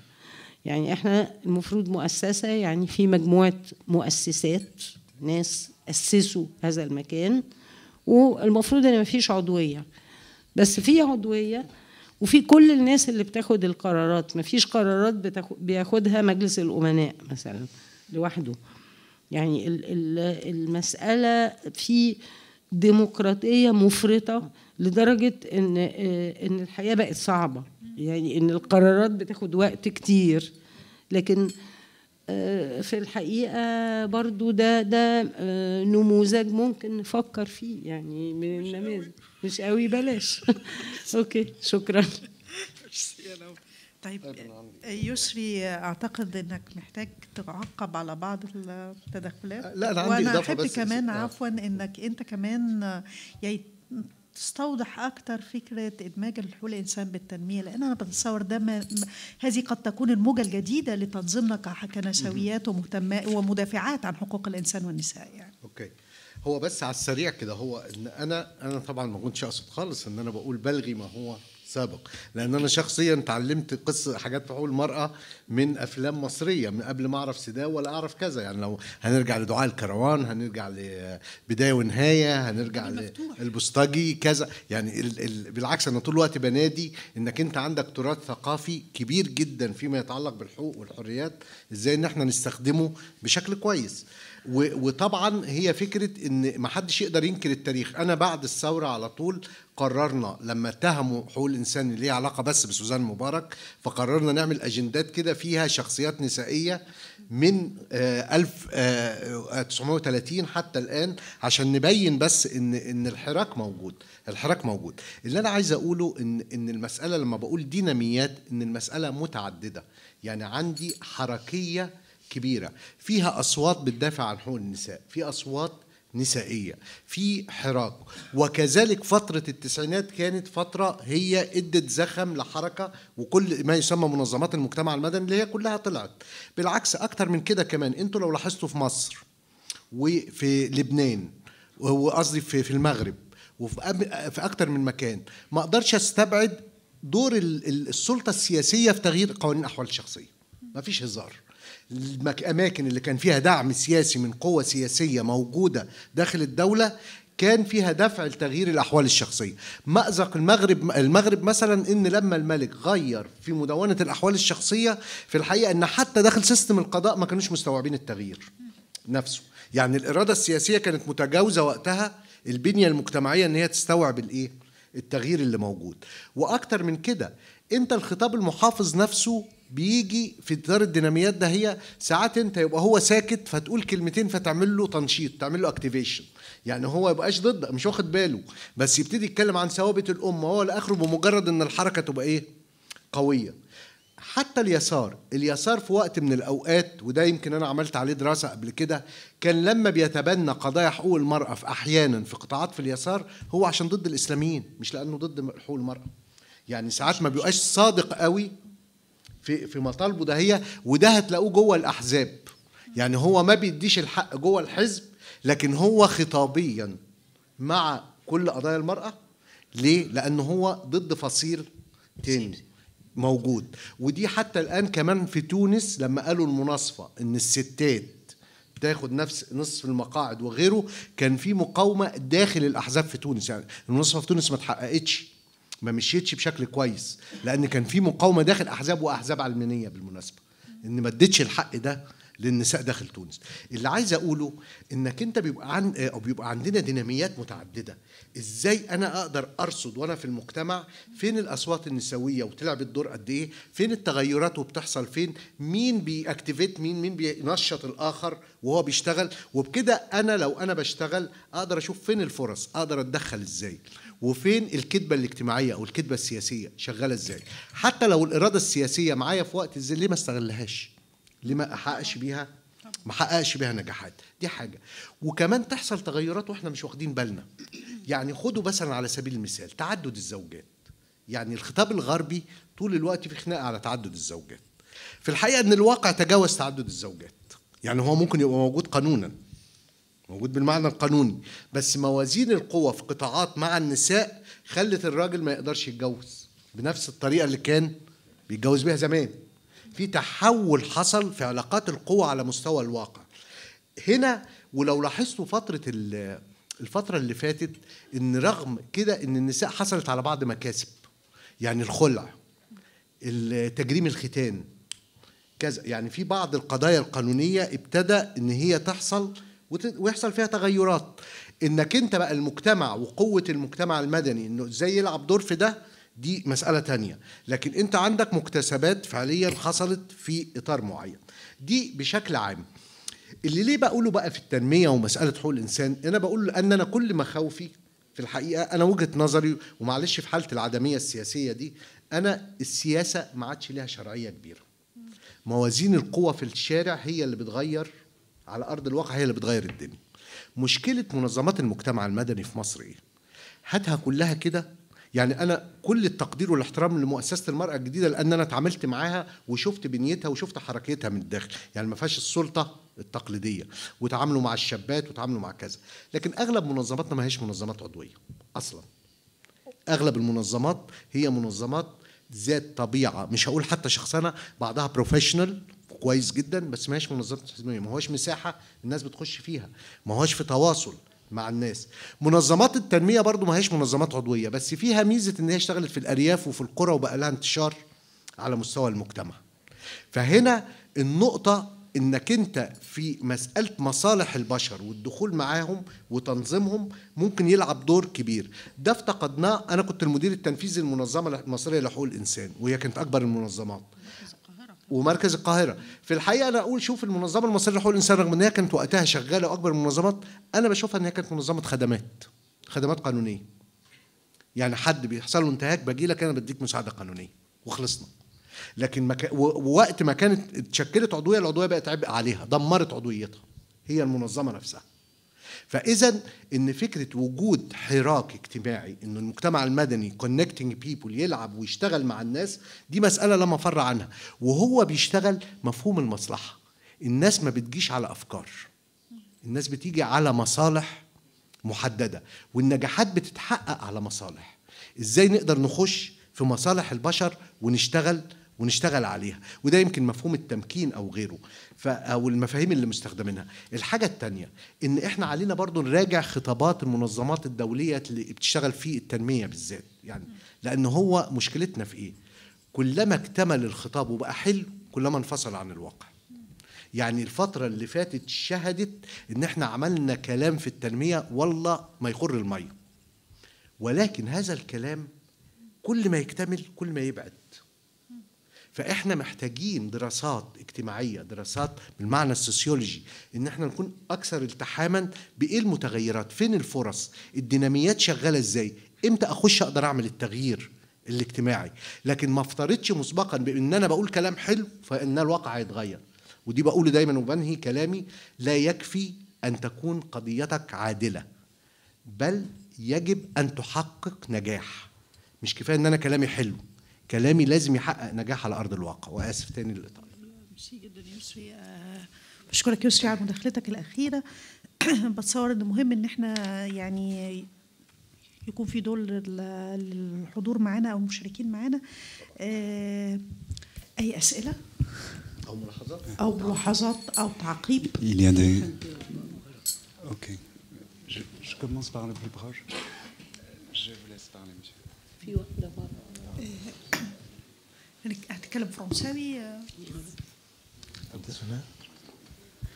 طيب هو سؤال متعلق بدور سواء بقى منظمات المجتمع المدني أو المؤسسات النسوية.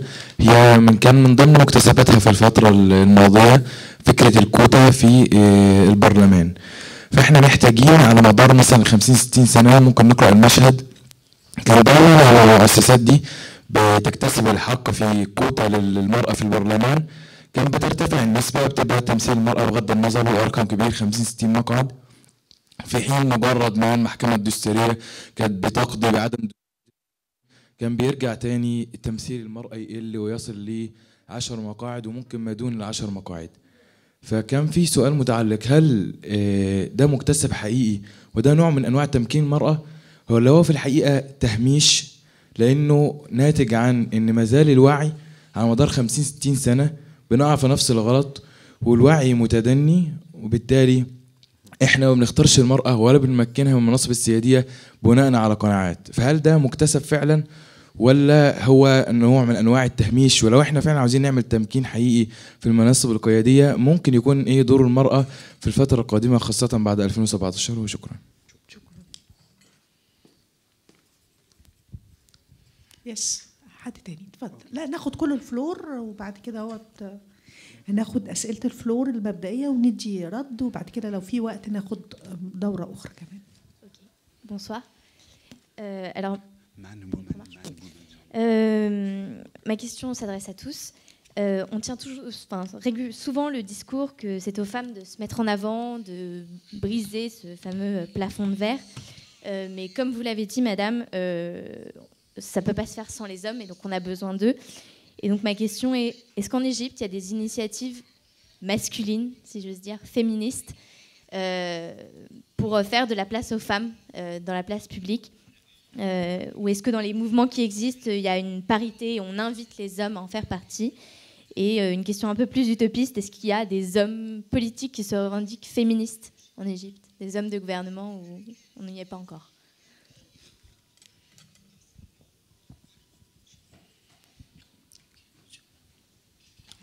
Bonsoir. Euh, excusez-moi pour parler pour, pour Arabic. آه، أنا خالد حكيم آه، أحد منظمات المجتمع المدني الأمين مساعد ومهتم بشؤون المرأة آه، إحنا طبعا بنحيي كل السيدات والآنسات بمناسبة اليوم العالمي للمرأة ولكن أنا كان ليا تحفظ على حاجة ما أعرفش هتخرج بينا بره السياق ولا لأ انتشرت في الآونة الأخيرة إعلانات في الشوارع وعلى الكباري بتاعة الهاشتاج ساني مادموزيل بتقول لك لو أنا عانس احكي معانا. لو ظل راجل ولا ظل حيطة آه، أنا بناشد الناس اللي موجودة هنا أو نعمل حملة لرفع هذه الملصقات من على الكباري وعلى الطرق لأن ما يصحش إن في 2017 يبقى كلمة زي دي موجودة. إحنا في حاجة اسمها تأخر سن الزواج. زي كده ما بدأنا نتخلص من كلمة معاق وخليناها ذوي الاحتياجات الخاصة. كلمة عانس دي مفروض تبقى لاغي وبدلا منها تأخر سن الزواج وما ما يليقش بينا في 2017 إن يبقى حاجة زي كده موجودة. وشكرا. حضرتك في مشكلة كبيرة جدا إن الإسلاميين ابتدوا يطلعوا إشاعة إن عدد ال- الستات في مصر أكتر من عدد الرجالة بأربع مرات عشان كده الراجل لازم يتجوز أربعة.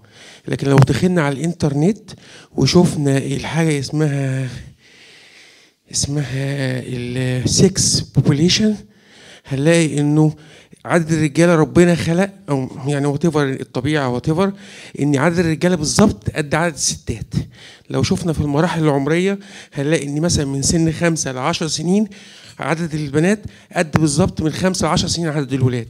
لو شفنا من سن 65 ل 70 هنلاقيهم من نفس العدد. هنلاقي بس إن في فرق إن أوقات الستات بيزيد العدد بتاعهم في الأعمار الطويلة لأن عمرهم أطول من عمر الرجالة هنلاقي بس في بلد زي لبنان عدد الستات أكتر عشان الحرب موتت الرجالة لكن الطبيعة خلقت إن عدد الرجالة زي عدد الستات شكرا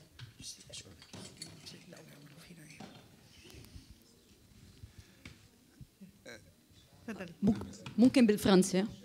Ok. Donc, euh, en fait, deux questions pour euh, Naoula. Euh, euh, avant toute chose, j'ai beaucoup apprécié euh, votre intervention, surtout sur le principe de ne pas accepter de compromis sur le droit de la femme. Bon, donc vous avez justement parlé de- du besoin de garder le regard sur les objectifs, mais à la fois de bien viser le- les scénarios tactiques aussi pour, pour agir. Donc, première question, quels, quels sont les, gros défis pour la femme égyptienne aujourd'hui euh, quand il s'agit de se- de s'organiser effectivement donc euh, défi soit euh, à l'intérieur de ces organisations, euh, mouvements, soit à l'extérieur. Donc, euh, euh, deuxième, oui, euh, effectivement, comme euh, vous avez dit, euh, pour en terminer sur une note positive, que vous avez de l'espoir. Euh, bien que le mouvement féministe est largement euh, absent en Égypte, euh, je vous écoute dans ce sens.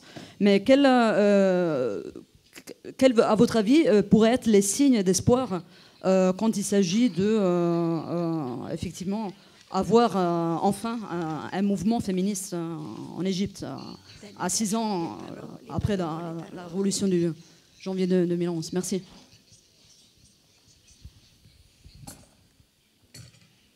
ميرسي آه، في حد تاني؟ Is there anyone else?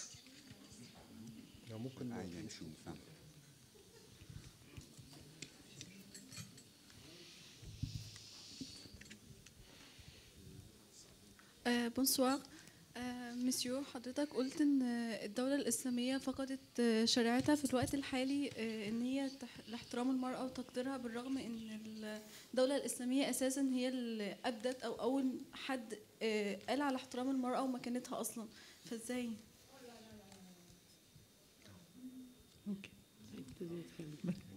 إحنا هن- هنحترم حرية التعبير يعني. ميرسي خالص يا أستاذ هل حد حابب يعمل أي مداخلة أخرى قبل ما نفتح ال- التعقيب على الأسئلة؟ اتفضل وبس في جزئية مهمة آه، إن معظم المفاهيم الكلاسيكية المتعمدين عليها تقادمت مع تطور التكنولوجي وعلاقتها بالزمن. فأصبح آه، معظم مفاهيم مساواة المرأة والرجل بقت تقلصت تماما وأصبح ما يسمى بمفهوم بالمعرفة والمصداقية. يعني أنا لا يعنيني من يتولى المنصب رجل أو امرأة أو صغير أو كبير. كل ده كلام بلا معنى. هل تمتلك المرأة المعرفة أو لا تمتلك؟ أو هل يمتلك الرجل المعرفة أو لا يمتلكها وفي بحث اسمها نظرية المعرفة والمصداقية منشور على جوجل ده هو اللي هيسود النظام السياسي العالمي. فلم يعد هناك معنى لأيديولوجيات يساري وعلماني وليبرالي وإسلامي. هل تمتلك المعرفة والمصداقية أم لا؟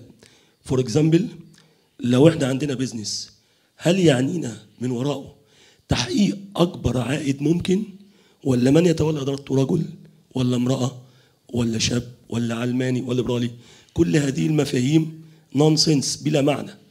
مقدار كل امرئ ما يمتلكه من معرفة ومصداقية. وبالتالي يجب إن إحنا نرجع نعيد مفاهيمنا كلها لأن أصبح المفهوم الحديث هو المعرفة مش مجرد إنها مرأة. يعني تولي المنصب هل المطلوب إنها تبقى مرأة بلا معرفة ولا تمتلك المعرفة؟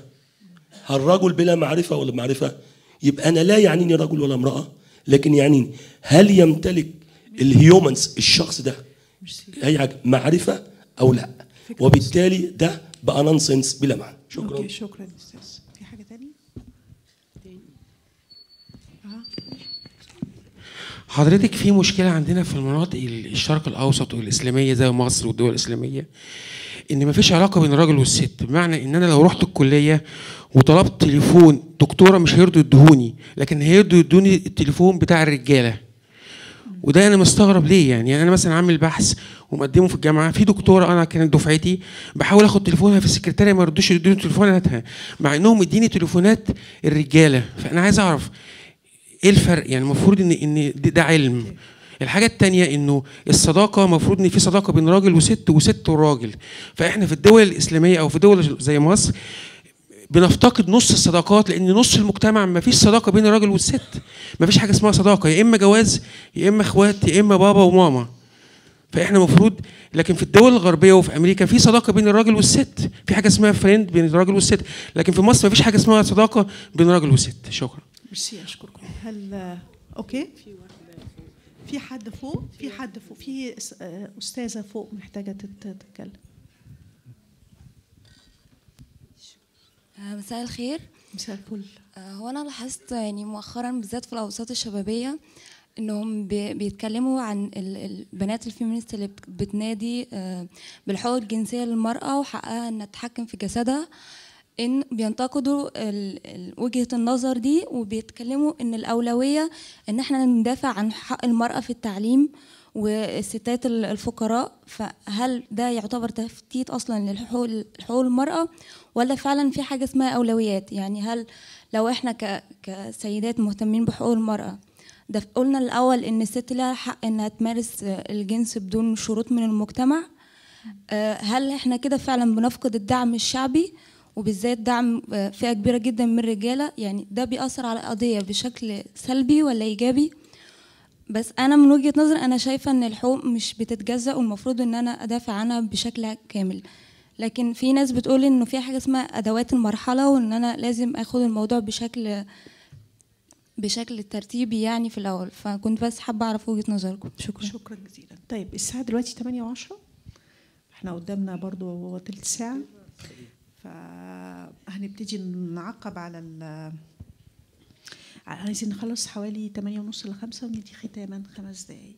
طيب آه، يسري بقى المرة دي تبتدي أنت بتعقيب على الأسئلة وناولة بعد طيب أنا مش مش هتكلم كتير بس هو في حاجة بس نحسبها الأول فيما يتعلق الإعلان بتاع بتاع عانس أنا وصلتني من آه، مايا مرسي من المجلس القومي للمرأة إن هم لغوه حطوا إعلان تاني أعتقد شركة ساني أو كده هو وحطوا إعلان تاني محترم قوي ومساند للمرأة وده إيه؟ اه بس شالوا شالوا وغالبا اذا كان في حاجات ما لسه موجوده هتتشال يعني الشركه نفسها الشركه المعلنه مم؟ اه Attendez, الشركه je me المعلنه permets شالت d'intervenir, و- s'il vous و- plaît. و- وال- Pour des والصور- raisons d'organisation, laissez-moi signaler que vous devez parler dans le micro pour communiquer, sinon les interprètes n'entendent pas et ne traduisent pas. S'il vous plaît, chacun à son tour pour parler. Merci. فيعني دي النقطة أنا اللي وصلني النهاردة أو امبارح حاجة زي كده ف وده كان يعتبر إنجاز حتى لو بالمعنى الرمزي إن هو إن الشركة نفسها توافق فده كويس. الحاجة فيما يتعلق بمسألة الكوتا. الكوتا كانت دايما إشكال يعني مش كل الناس مع الكوتا يعني في حتى داخل الحركة النسائية في ناس مع وفي ناس ضد الإيه؟ الكوتا بس أنا هقول لك بشكل صريح يعني لو أنا بتكلم عن وجهة نظري الكوتا لسه حتى لو هي بيتكلموا عنها تمييز إيجابي لكن كيفية استخدامها لأن كل عمليات الاستخدام فيها ما كانتش إيجابية بشكل أو بآخر. وهي جزء من التمثيل يعني أنت بتجيب مين يمثل فأنت بتختار الناس القريبة إيه منك. وممكن تجيب ناس أصلا ضد الإيه؟ ضد حقوق المرأة نفسها. ودي حتى مش أخطاء كانت في الكوتا مع الدولة كانت في الكوتا أو في التشجيع التمييز الإيجابي مثلا من خلال منظمات دولية إن أنت بتدي منح لنساء. فكان ليها بعد طبقي. يعني بمعنى إن البنت اللي عندها قدرة إن هي تتعلم إنجليزي أو فرنساوي أو كذا وعندها اللغة ده هي هي اللي كانت تاخد المنحة. لكن ما كانتش المنحة بتروح للطبقات الفقيرة أو الناس اللي إيه اللي محتاجين. فدايما أي حاجات بيبقى لها جانب إيجابي وجانب سلبي. بس أنا متفق معاك إن التطبيقات حتى الآن محتاجة الناس تراجع لأن مسألة التمثيل ما كانتش بالضرورة بتقدم بشكل كويس ويبقى في النهاية زي ما كنت بقول إن علاقات القوى على أرض الواقع هي اللي بتفرق. يعني الناس بتكسب على أرض الواقع مش مين بيمثلهم هم نفسهم كسبوا ولا ما كسبوش. دي نقطة. آه، في حاجات أنا هسيبها طبعا لأن هي السؤال آه، اتوجه آه، لنوله في المسألة ده هي. في مصر إن في الرجالة لا في في يعني أغلب التدريبات اللي بتتم في مصر دلوقتي حوالين الجندر بقت بتستهدف أو حوالين النوع الاجتماعي بقت بتستهدف رجالة وشباب. يعني أنا نفسي عملت في وأنا في في وكاله التعاون الانمائي الألماني جي آي زد عملنا آه، معسكر شبابي لمدة أربع سنين كان ما بين بالمناصفة ما بين ولاد وبنات وكان من أنجح الأنشطة. أعتقد مؤسسة كير عندها حاجة خاصة بال men engagement يعني بإدماج الرجال ففي اتجاهات كبيرة. ومثل من التجارب اللي اتعملت مع ال UN Women ومع كير برضو كانت تجربة كويسة قوي مش بس أي رجالة كان في تجربة اشتغلوا مع سواقين التوك توك. يعني إزاي إن سواقين التوك توك نفسهم يبقوا ضد التحرش الجنسي وكانت من أنجح التجارب. وكانوا بيعملوا حاجات يعني العيال تكتب على التوك توك حاجات مختلفة وبتوع التوك توك يعلموا بتوع التوك توك التانيين. يعني كان في في حراك. حجمه قد إيه في بلد ضخم بالشكل ده هو ما زال بلد عايز جهود كبيرة جدا. ويزيد الطينة بلة sorry في التعبير للمترجمين يعني المشكلة بتاعت إن الدولة إن الدولة بتحارب منظمات المجتمع المدني. يعني في الوقت اللي فيه ناس عايزة مجالات إن هي تفتح وتشتغل وتعمل تغيير الدولة واقفة لهم بالمرصاد لا في دعم وفي ملاحقات وفي كذا. فطول الوقت إن أنت طيب يا سيدي سيب الناس تعمل الجزء الإيجابي ده هو اللي بيخدم المجتمع. ففي تحديات كبيرة بتواجه الناس. المبادرات موجودة لكن الدعم السياسي والإرادة السياسية مش بتدي مساحة مساحة كبيرة. آه، في آه، عدم الالتقاء ما بين الرجالة والستات صحيح إن إحنا في مجتمعاتنا إحنا مجتمعات محافظة. وبيحصل فيها ما فيش الحي يعني كتير من الستات بتخاف من الرجالة بسبب عدم الأمان اللي موجود في المجتمع. في توقع سلبي من الآخر طول الوقت. ففي مسكونسبشن والفصل والعزل في التعليم وغيره ما بين الرجالة والستات بيؤدي في النهاية للنتيجة دهيه لكن ما أقدرش أعمم. لو رحتوا على الكافيهات ورحتوا على الدنيا وداخل النوادي وبتاع لا الولاد والبنات بيتقابلوا مع بعضهم الولاد والبنات بيخرجوا رحلات مع بعضهم وبيتكلموا مع بعض. فالفكرة إذا كان في افتراض إن بنقول ما بيتقابلوش صحيح ده وارد لكن مش معناه بشكل إيه؟ بشكل عام.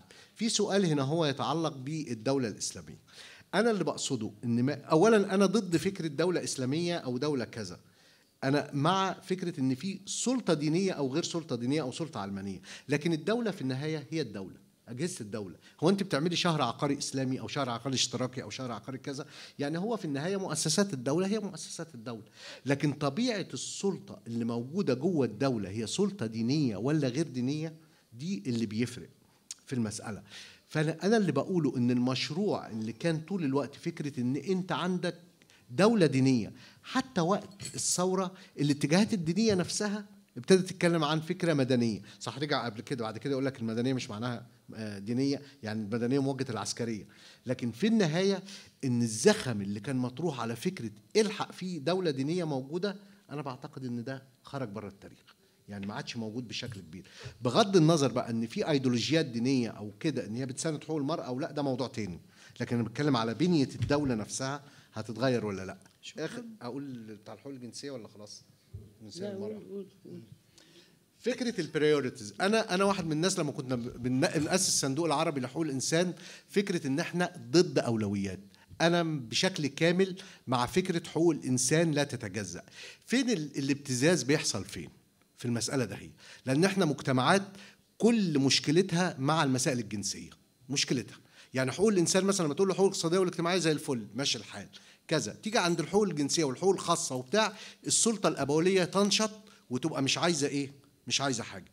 ثانيا إحنا كبتاع حقوق إنسان أنا لما بدافع عن الحقوق الشخصية وحق الإنسان في جسده وحق الإنسان في إن هو ليه حيز الخاص بتاعه حرمة حياته الخاصة ومحدش يتدخل بيها أنا في الحقيقة ما بقولوش روح اعمل قلة أدب أو أبقى وحش أو اعمل كذا. أنا ماليش دعوة. أنا بدافع عن حق كل إنسان بما في حقي أنا إن أنا يبقى لي مساحتي اللي محدش يتدخل فيها. ماشي؟ وإذا كان حد بيمارس أي حاجة جوه مكانه هو حر. يعني ده أنا ما بدعوهوش إن هو يعمل ده. والسؤال ده اتسألناه كتير قوي.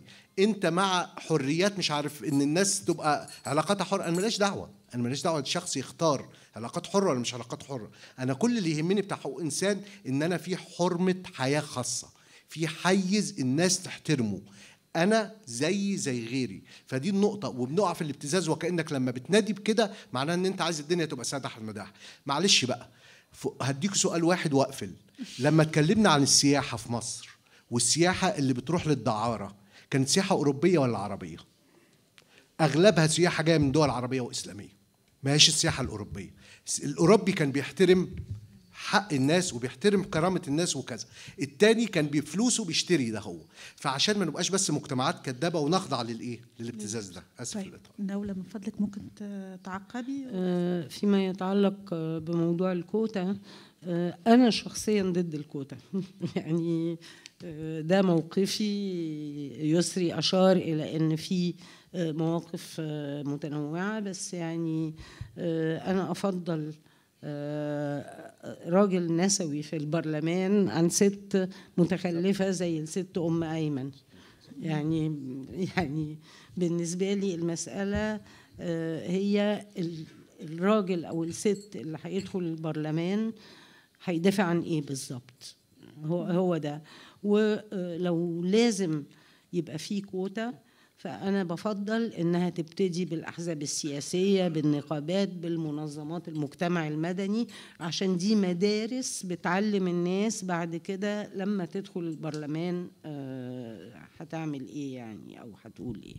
وما ننساش إن آخر برلمان آه، قبل يناير 2011 كان في ستات كتير وكانوا كلهم حزب وطني وكانوا معظمهم ضد حقوق النساء وإلى آخره. والنهارده في البرلمان في أكتر من 80 ست وما أعرفش بيعملوا إيه للستات عايزين يحرموا الستات من حضانة العيال وحاجات كده يعني. آه، بالنسبة للسؤال اللي آه، آه، اللي هو هل كان في مبادرات للرجال؟ مبادرات نسوية أو تحيز للرجال. آه، أعتقد أن وجود يسري معانا دليل كبير على أن في رجالة نسويين ولكن ما فيش مبادرات آه، نسوية من من طرف الرجال وما فيش رجال نسويين في في الحكومة أو في السلطة أو في رجال السياسة. يعني ده آه، عشان آه، يعني نطمن جميعا. آه، بالنسبة للتحديات اللي بتمنع النساء آه، من من تنظيم آه، أنفسهم. التحديات متعددة وأنا آه، أعتقد آه، أشرت إلى بعضها. من ضمن التحديات هي التنافس على القيادات. دي آه، من ضمن التحديات المهمة جدا. من ضمن التحديات إن في قمع شديد جدا للمجتمع المدني حاليا وفي آه، تهديدات بإغلاق منظمات كثيرة من المجتمع المدني. آه، من ضمن التحديات إن آه، في ناس بتقول إنها مع حقوق النساء لكن يعني حتة صغيرة ونسيب الحتة التانية وبالتالي في تباين في وجهات النظر يعني. ولكن ما هي علامات ال- الأمل؟ آه، أنا أعتقد إن في علامات امل, آه، آه،. آه، في الستات انخرطوا في ثورة آه، يناير بطريقة هايلة. آه، الستات كانوا موجودين في كل مكان في ميدان التحرير وفي نقاط التفتيش وفي المستشفى الميداني وفي شهيدات للثورة. وفي ستات يعني ابتدوا النهاردة ما كانوش عمرهم ما كانوا بيقولوا على نفسهم نسويات ابتدوا النهارده يطرحوا قضايا وأنا أنا بشوفهم يعني آه، ناس ما يعني ما كانش ليهم دعوة بالمسائل دي النهاردة بي بي بيتناقشوا وتناقشوا كتير جدا. مثلا في موضوع حضانة العيال اللي اتطرح في, في مجلس الشعب ده أخذ حيز كبير جدا من المناقشات. ولكن الناس لازم ما أح- أح- إحدى التحديات هي رفض ال ال الشباب الأشكال التنظيمية القديمة. يعني وده تحدي كبير يعني على ما أعتقد. آه، بالنسبة آه، للأولويات وهل الأولويات الحقوق الجنسية أو الحقوق الإنجابية أو الحقوق ال- الحق في التعليم أو أو أو هنلاحظ إن آه، ال- الحق- حق- الحقوق الخاصة بالمجال العام تقريبا مكفولة سواء في الدستور أو في القوانين. ال- الحق في التعليم الحق في العمل الحق الحق الحق. بنيجي بقى على ما يتعلق بالمجال الخاص نتربس بقى. الأحوال الشخصية ما ما نغيرهاش الحقوق الجنسية الحقوق الإنجابية الح- الحق ال- الحق في سلامة الجسد. ما نقربش منه. اشمعنى إحنا زعلانين من ده و آه، و- وختان الإناث؟ ما إحنا شايفين معدلات ختان الإناث ما زالت موجودة زي آه، زي الأول. ف آه، دي ثقافة مجتمع وده شغل طويل ده شغل طويل وهياخد وقت كتير. وأنا بفكر أصدقائنا الفرنسيين اللي موجودين هنا إن الثورة الفر... بعد الثورة الفرنسية ابتدت تتحقق الديمقراطية بعد 100 سنة من الثورة الفرنسية. دي عملية في صيرورة وهتاخد وقت والثورة لم تنتهي. كان في موجة من موجات الثورة والثورة لم تنتهي وهتكمل. وشكرا. ميرسي ميرسي جدا الاستاذه نوله ميرسي دكتور يسري. كتر ألف خيركم. الحقيقة اسرتوا اللقاء. إحنا بنأمل طبعا إن إحنا يعني نكتب خلاصات اللقاء ده بس في تعقيب أخير. يعني الحقيقة مش مش حابة إن يبقى يعني أطرح رد على أغلب اللي اتقال بس أنا يهمني أقول لكم إن حاجتين. المبادرات الإدماج الرجال في العمل ال- المدافع عن قضايا المرأة عامة مصر ابتدت تشهد ليتلي مؤخرا محاولات كده إن هم يتبنوا برامج لادماج الرجالة في مواجهة العنف حتى. في كلام آه، حوالين إن يعني تتعمل حتى ورش للحاكي مع الرجال حوالين لماذا آه، هو رأيه إيه في قضايا العنف وهو شايف ممكن تكون تدخلاته لإيه وأعتقد إن تجربة زي خريطة التحرش الجنسي في مصر تجربة قادرة تقدم الت- التدخل ده آه، الأمر كمان اللي عايزه أقوله لحضراتكم إن إن الكوتا الكوتا صحيح ممكن تكون آه، يعني قضية جدلية ما يتفقش عليها كل الناس بس الكوتا مش. أحد إشكالياتها الرئيسية يعني هي بتواجه إشكاليات كثيرة بس أحد إشكالياتها الرئيسية إن إحنا. بنطبقها بشكل جزئي. بمعنى إن إحنا بنبقى راضيين بفكرة إن يكون هناك وجوه نسائية على المقاعد اللي إحنا طالبين فيها مشاركة نسائية. لكن إحنا ما بنعملش في المقابل كذا حاجة. يعني في تقديري لو تجربة الكوتا في البرلمان لم المصري الحالي لم تحقق نجاحا رغم هذا العدد الكبير من النساء ده يرجع في الأساس مش لتمثيل مش لفكرة الكوتا لكن يرجع للنظام الانتخابي اللي جاب الستات والرجالة دي للبرلمان. يرجع لأن لا توجد هناك سياسات عامة إلى الآن تسعى لإحداث تغير ثقافي واجتماعي حقيقي داخل المجتمع ويرجع إن لا زالت خطابات التعليم والإعلام والخطاب الثقافي متمكن من من قضية التمييز. لكن لو إحنا إدينا دعم حقيقي للتنظيم وقدرنا نعمل أجواء حقيقية للتمثيل السياسي وقدرنا قدرنا نعمل نظم انتخابية حقيقية فيها نوع من تداول السلطة وتنوع هتيجي الستات اللي ممكن يكون منها حد زي أم أيمن تجربة ال- الإخوان مع البرلمان وهتيجي بعض من الستات اللي في البرلمان ده لكن كمان ممكن تشوفوا ستات زينا وستات زيكم في البرلمان برضه يعني هيبقى في فرصة ساعتها للحراك.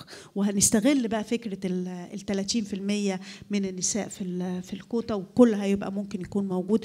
ونجاح الكوتا يا جماعة في إيجاد ال dynamics يعني ممكن تنجح التمثيل الستات لو حرصنا لو كان في حرص داخل البرلمان على سبيل المثال إن يكون في حراك جواه إن هم يتشكلوا في caucus إن هم يعملوا تحالفات جوه البرلمان إن يبقى في قضايا يدخلوا فيها مع رجالة على قضايا معينة يتفقوا فيها لكن قضايا تانية يدخلوا فيها مع آه، تيارات تانية. يعني ال dynamics اللي جوه البرلمان أثناء تمثيل النساء للكوتا هو اللي ممكن ينجح المشاركة السياسية على مستوى اتخاذ القرار.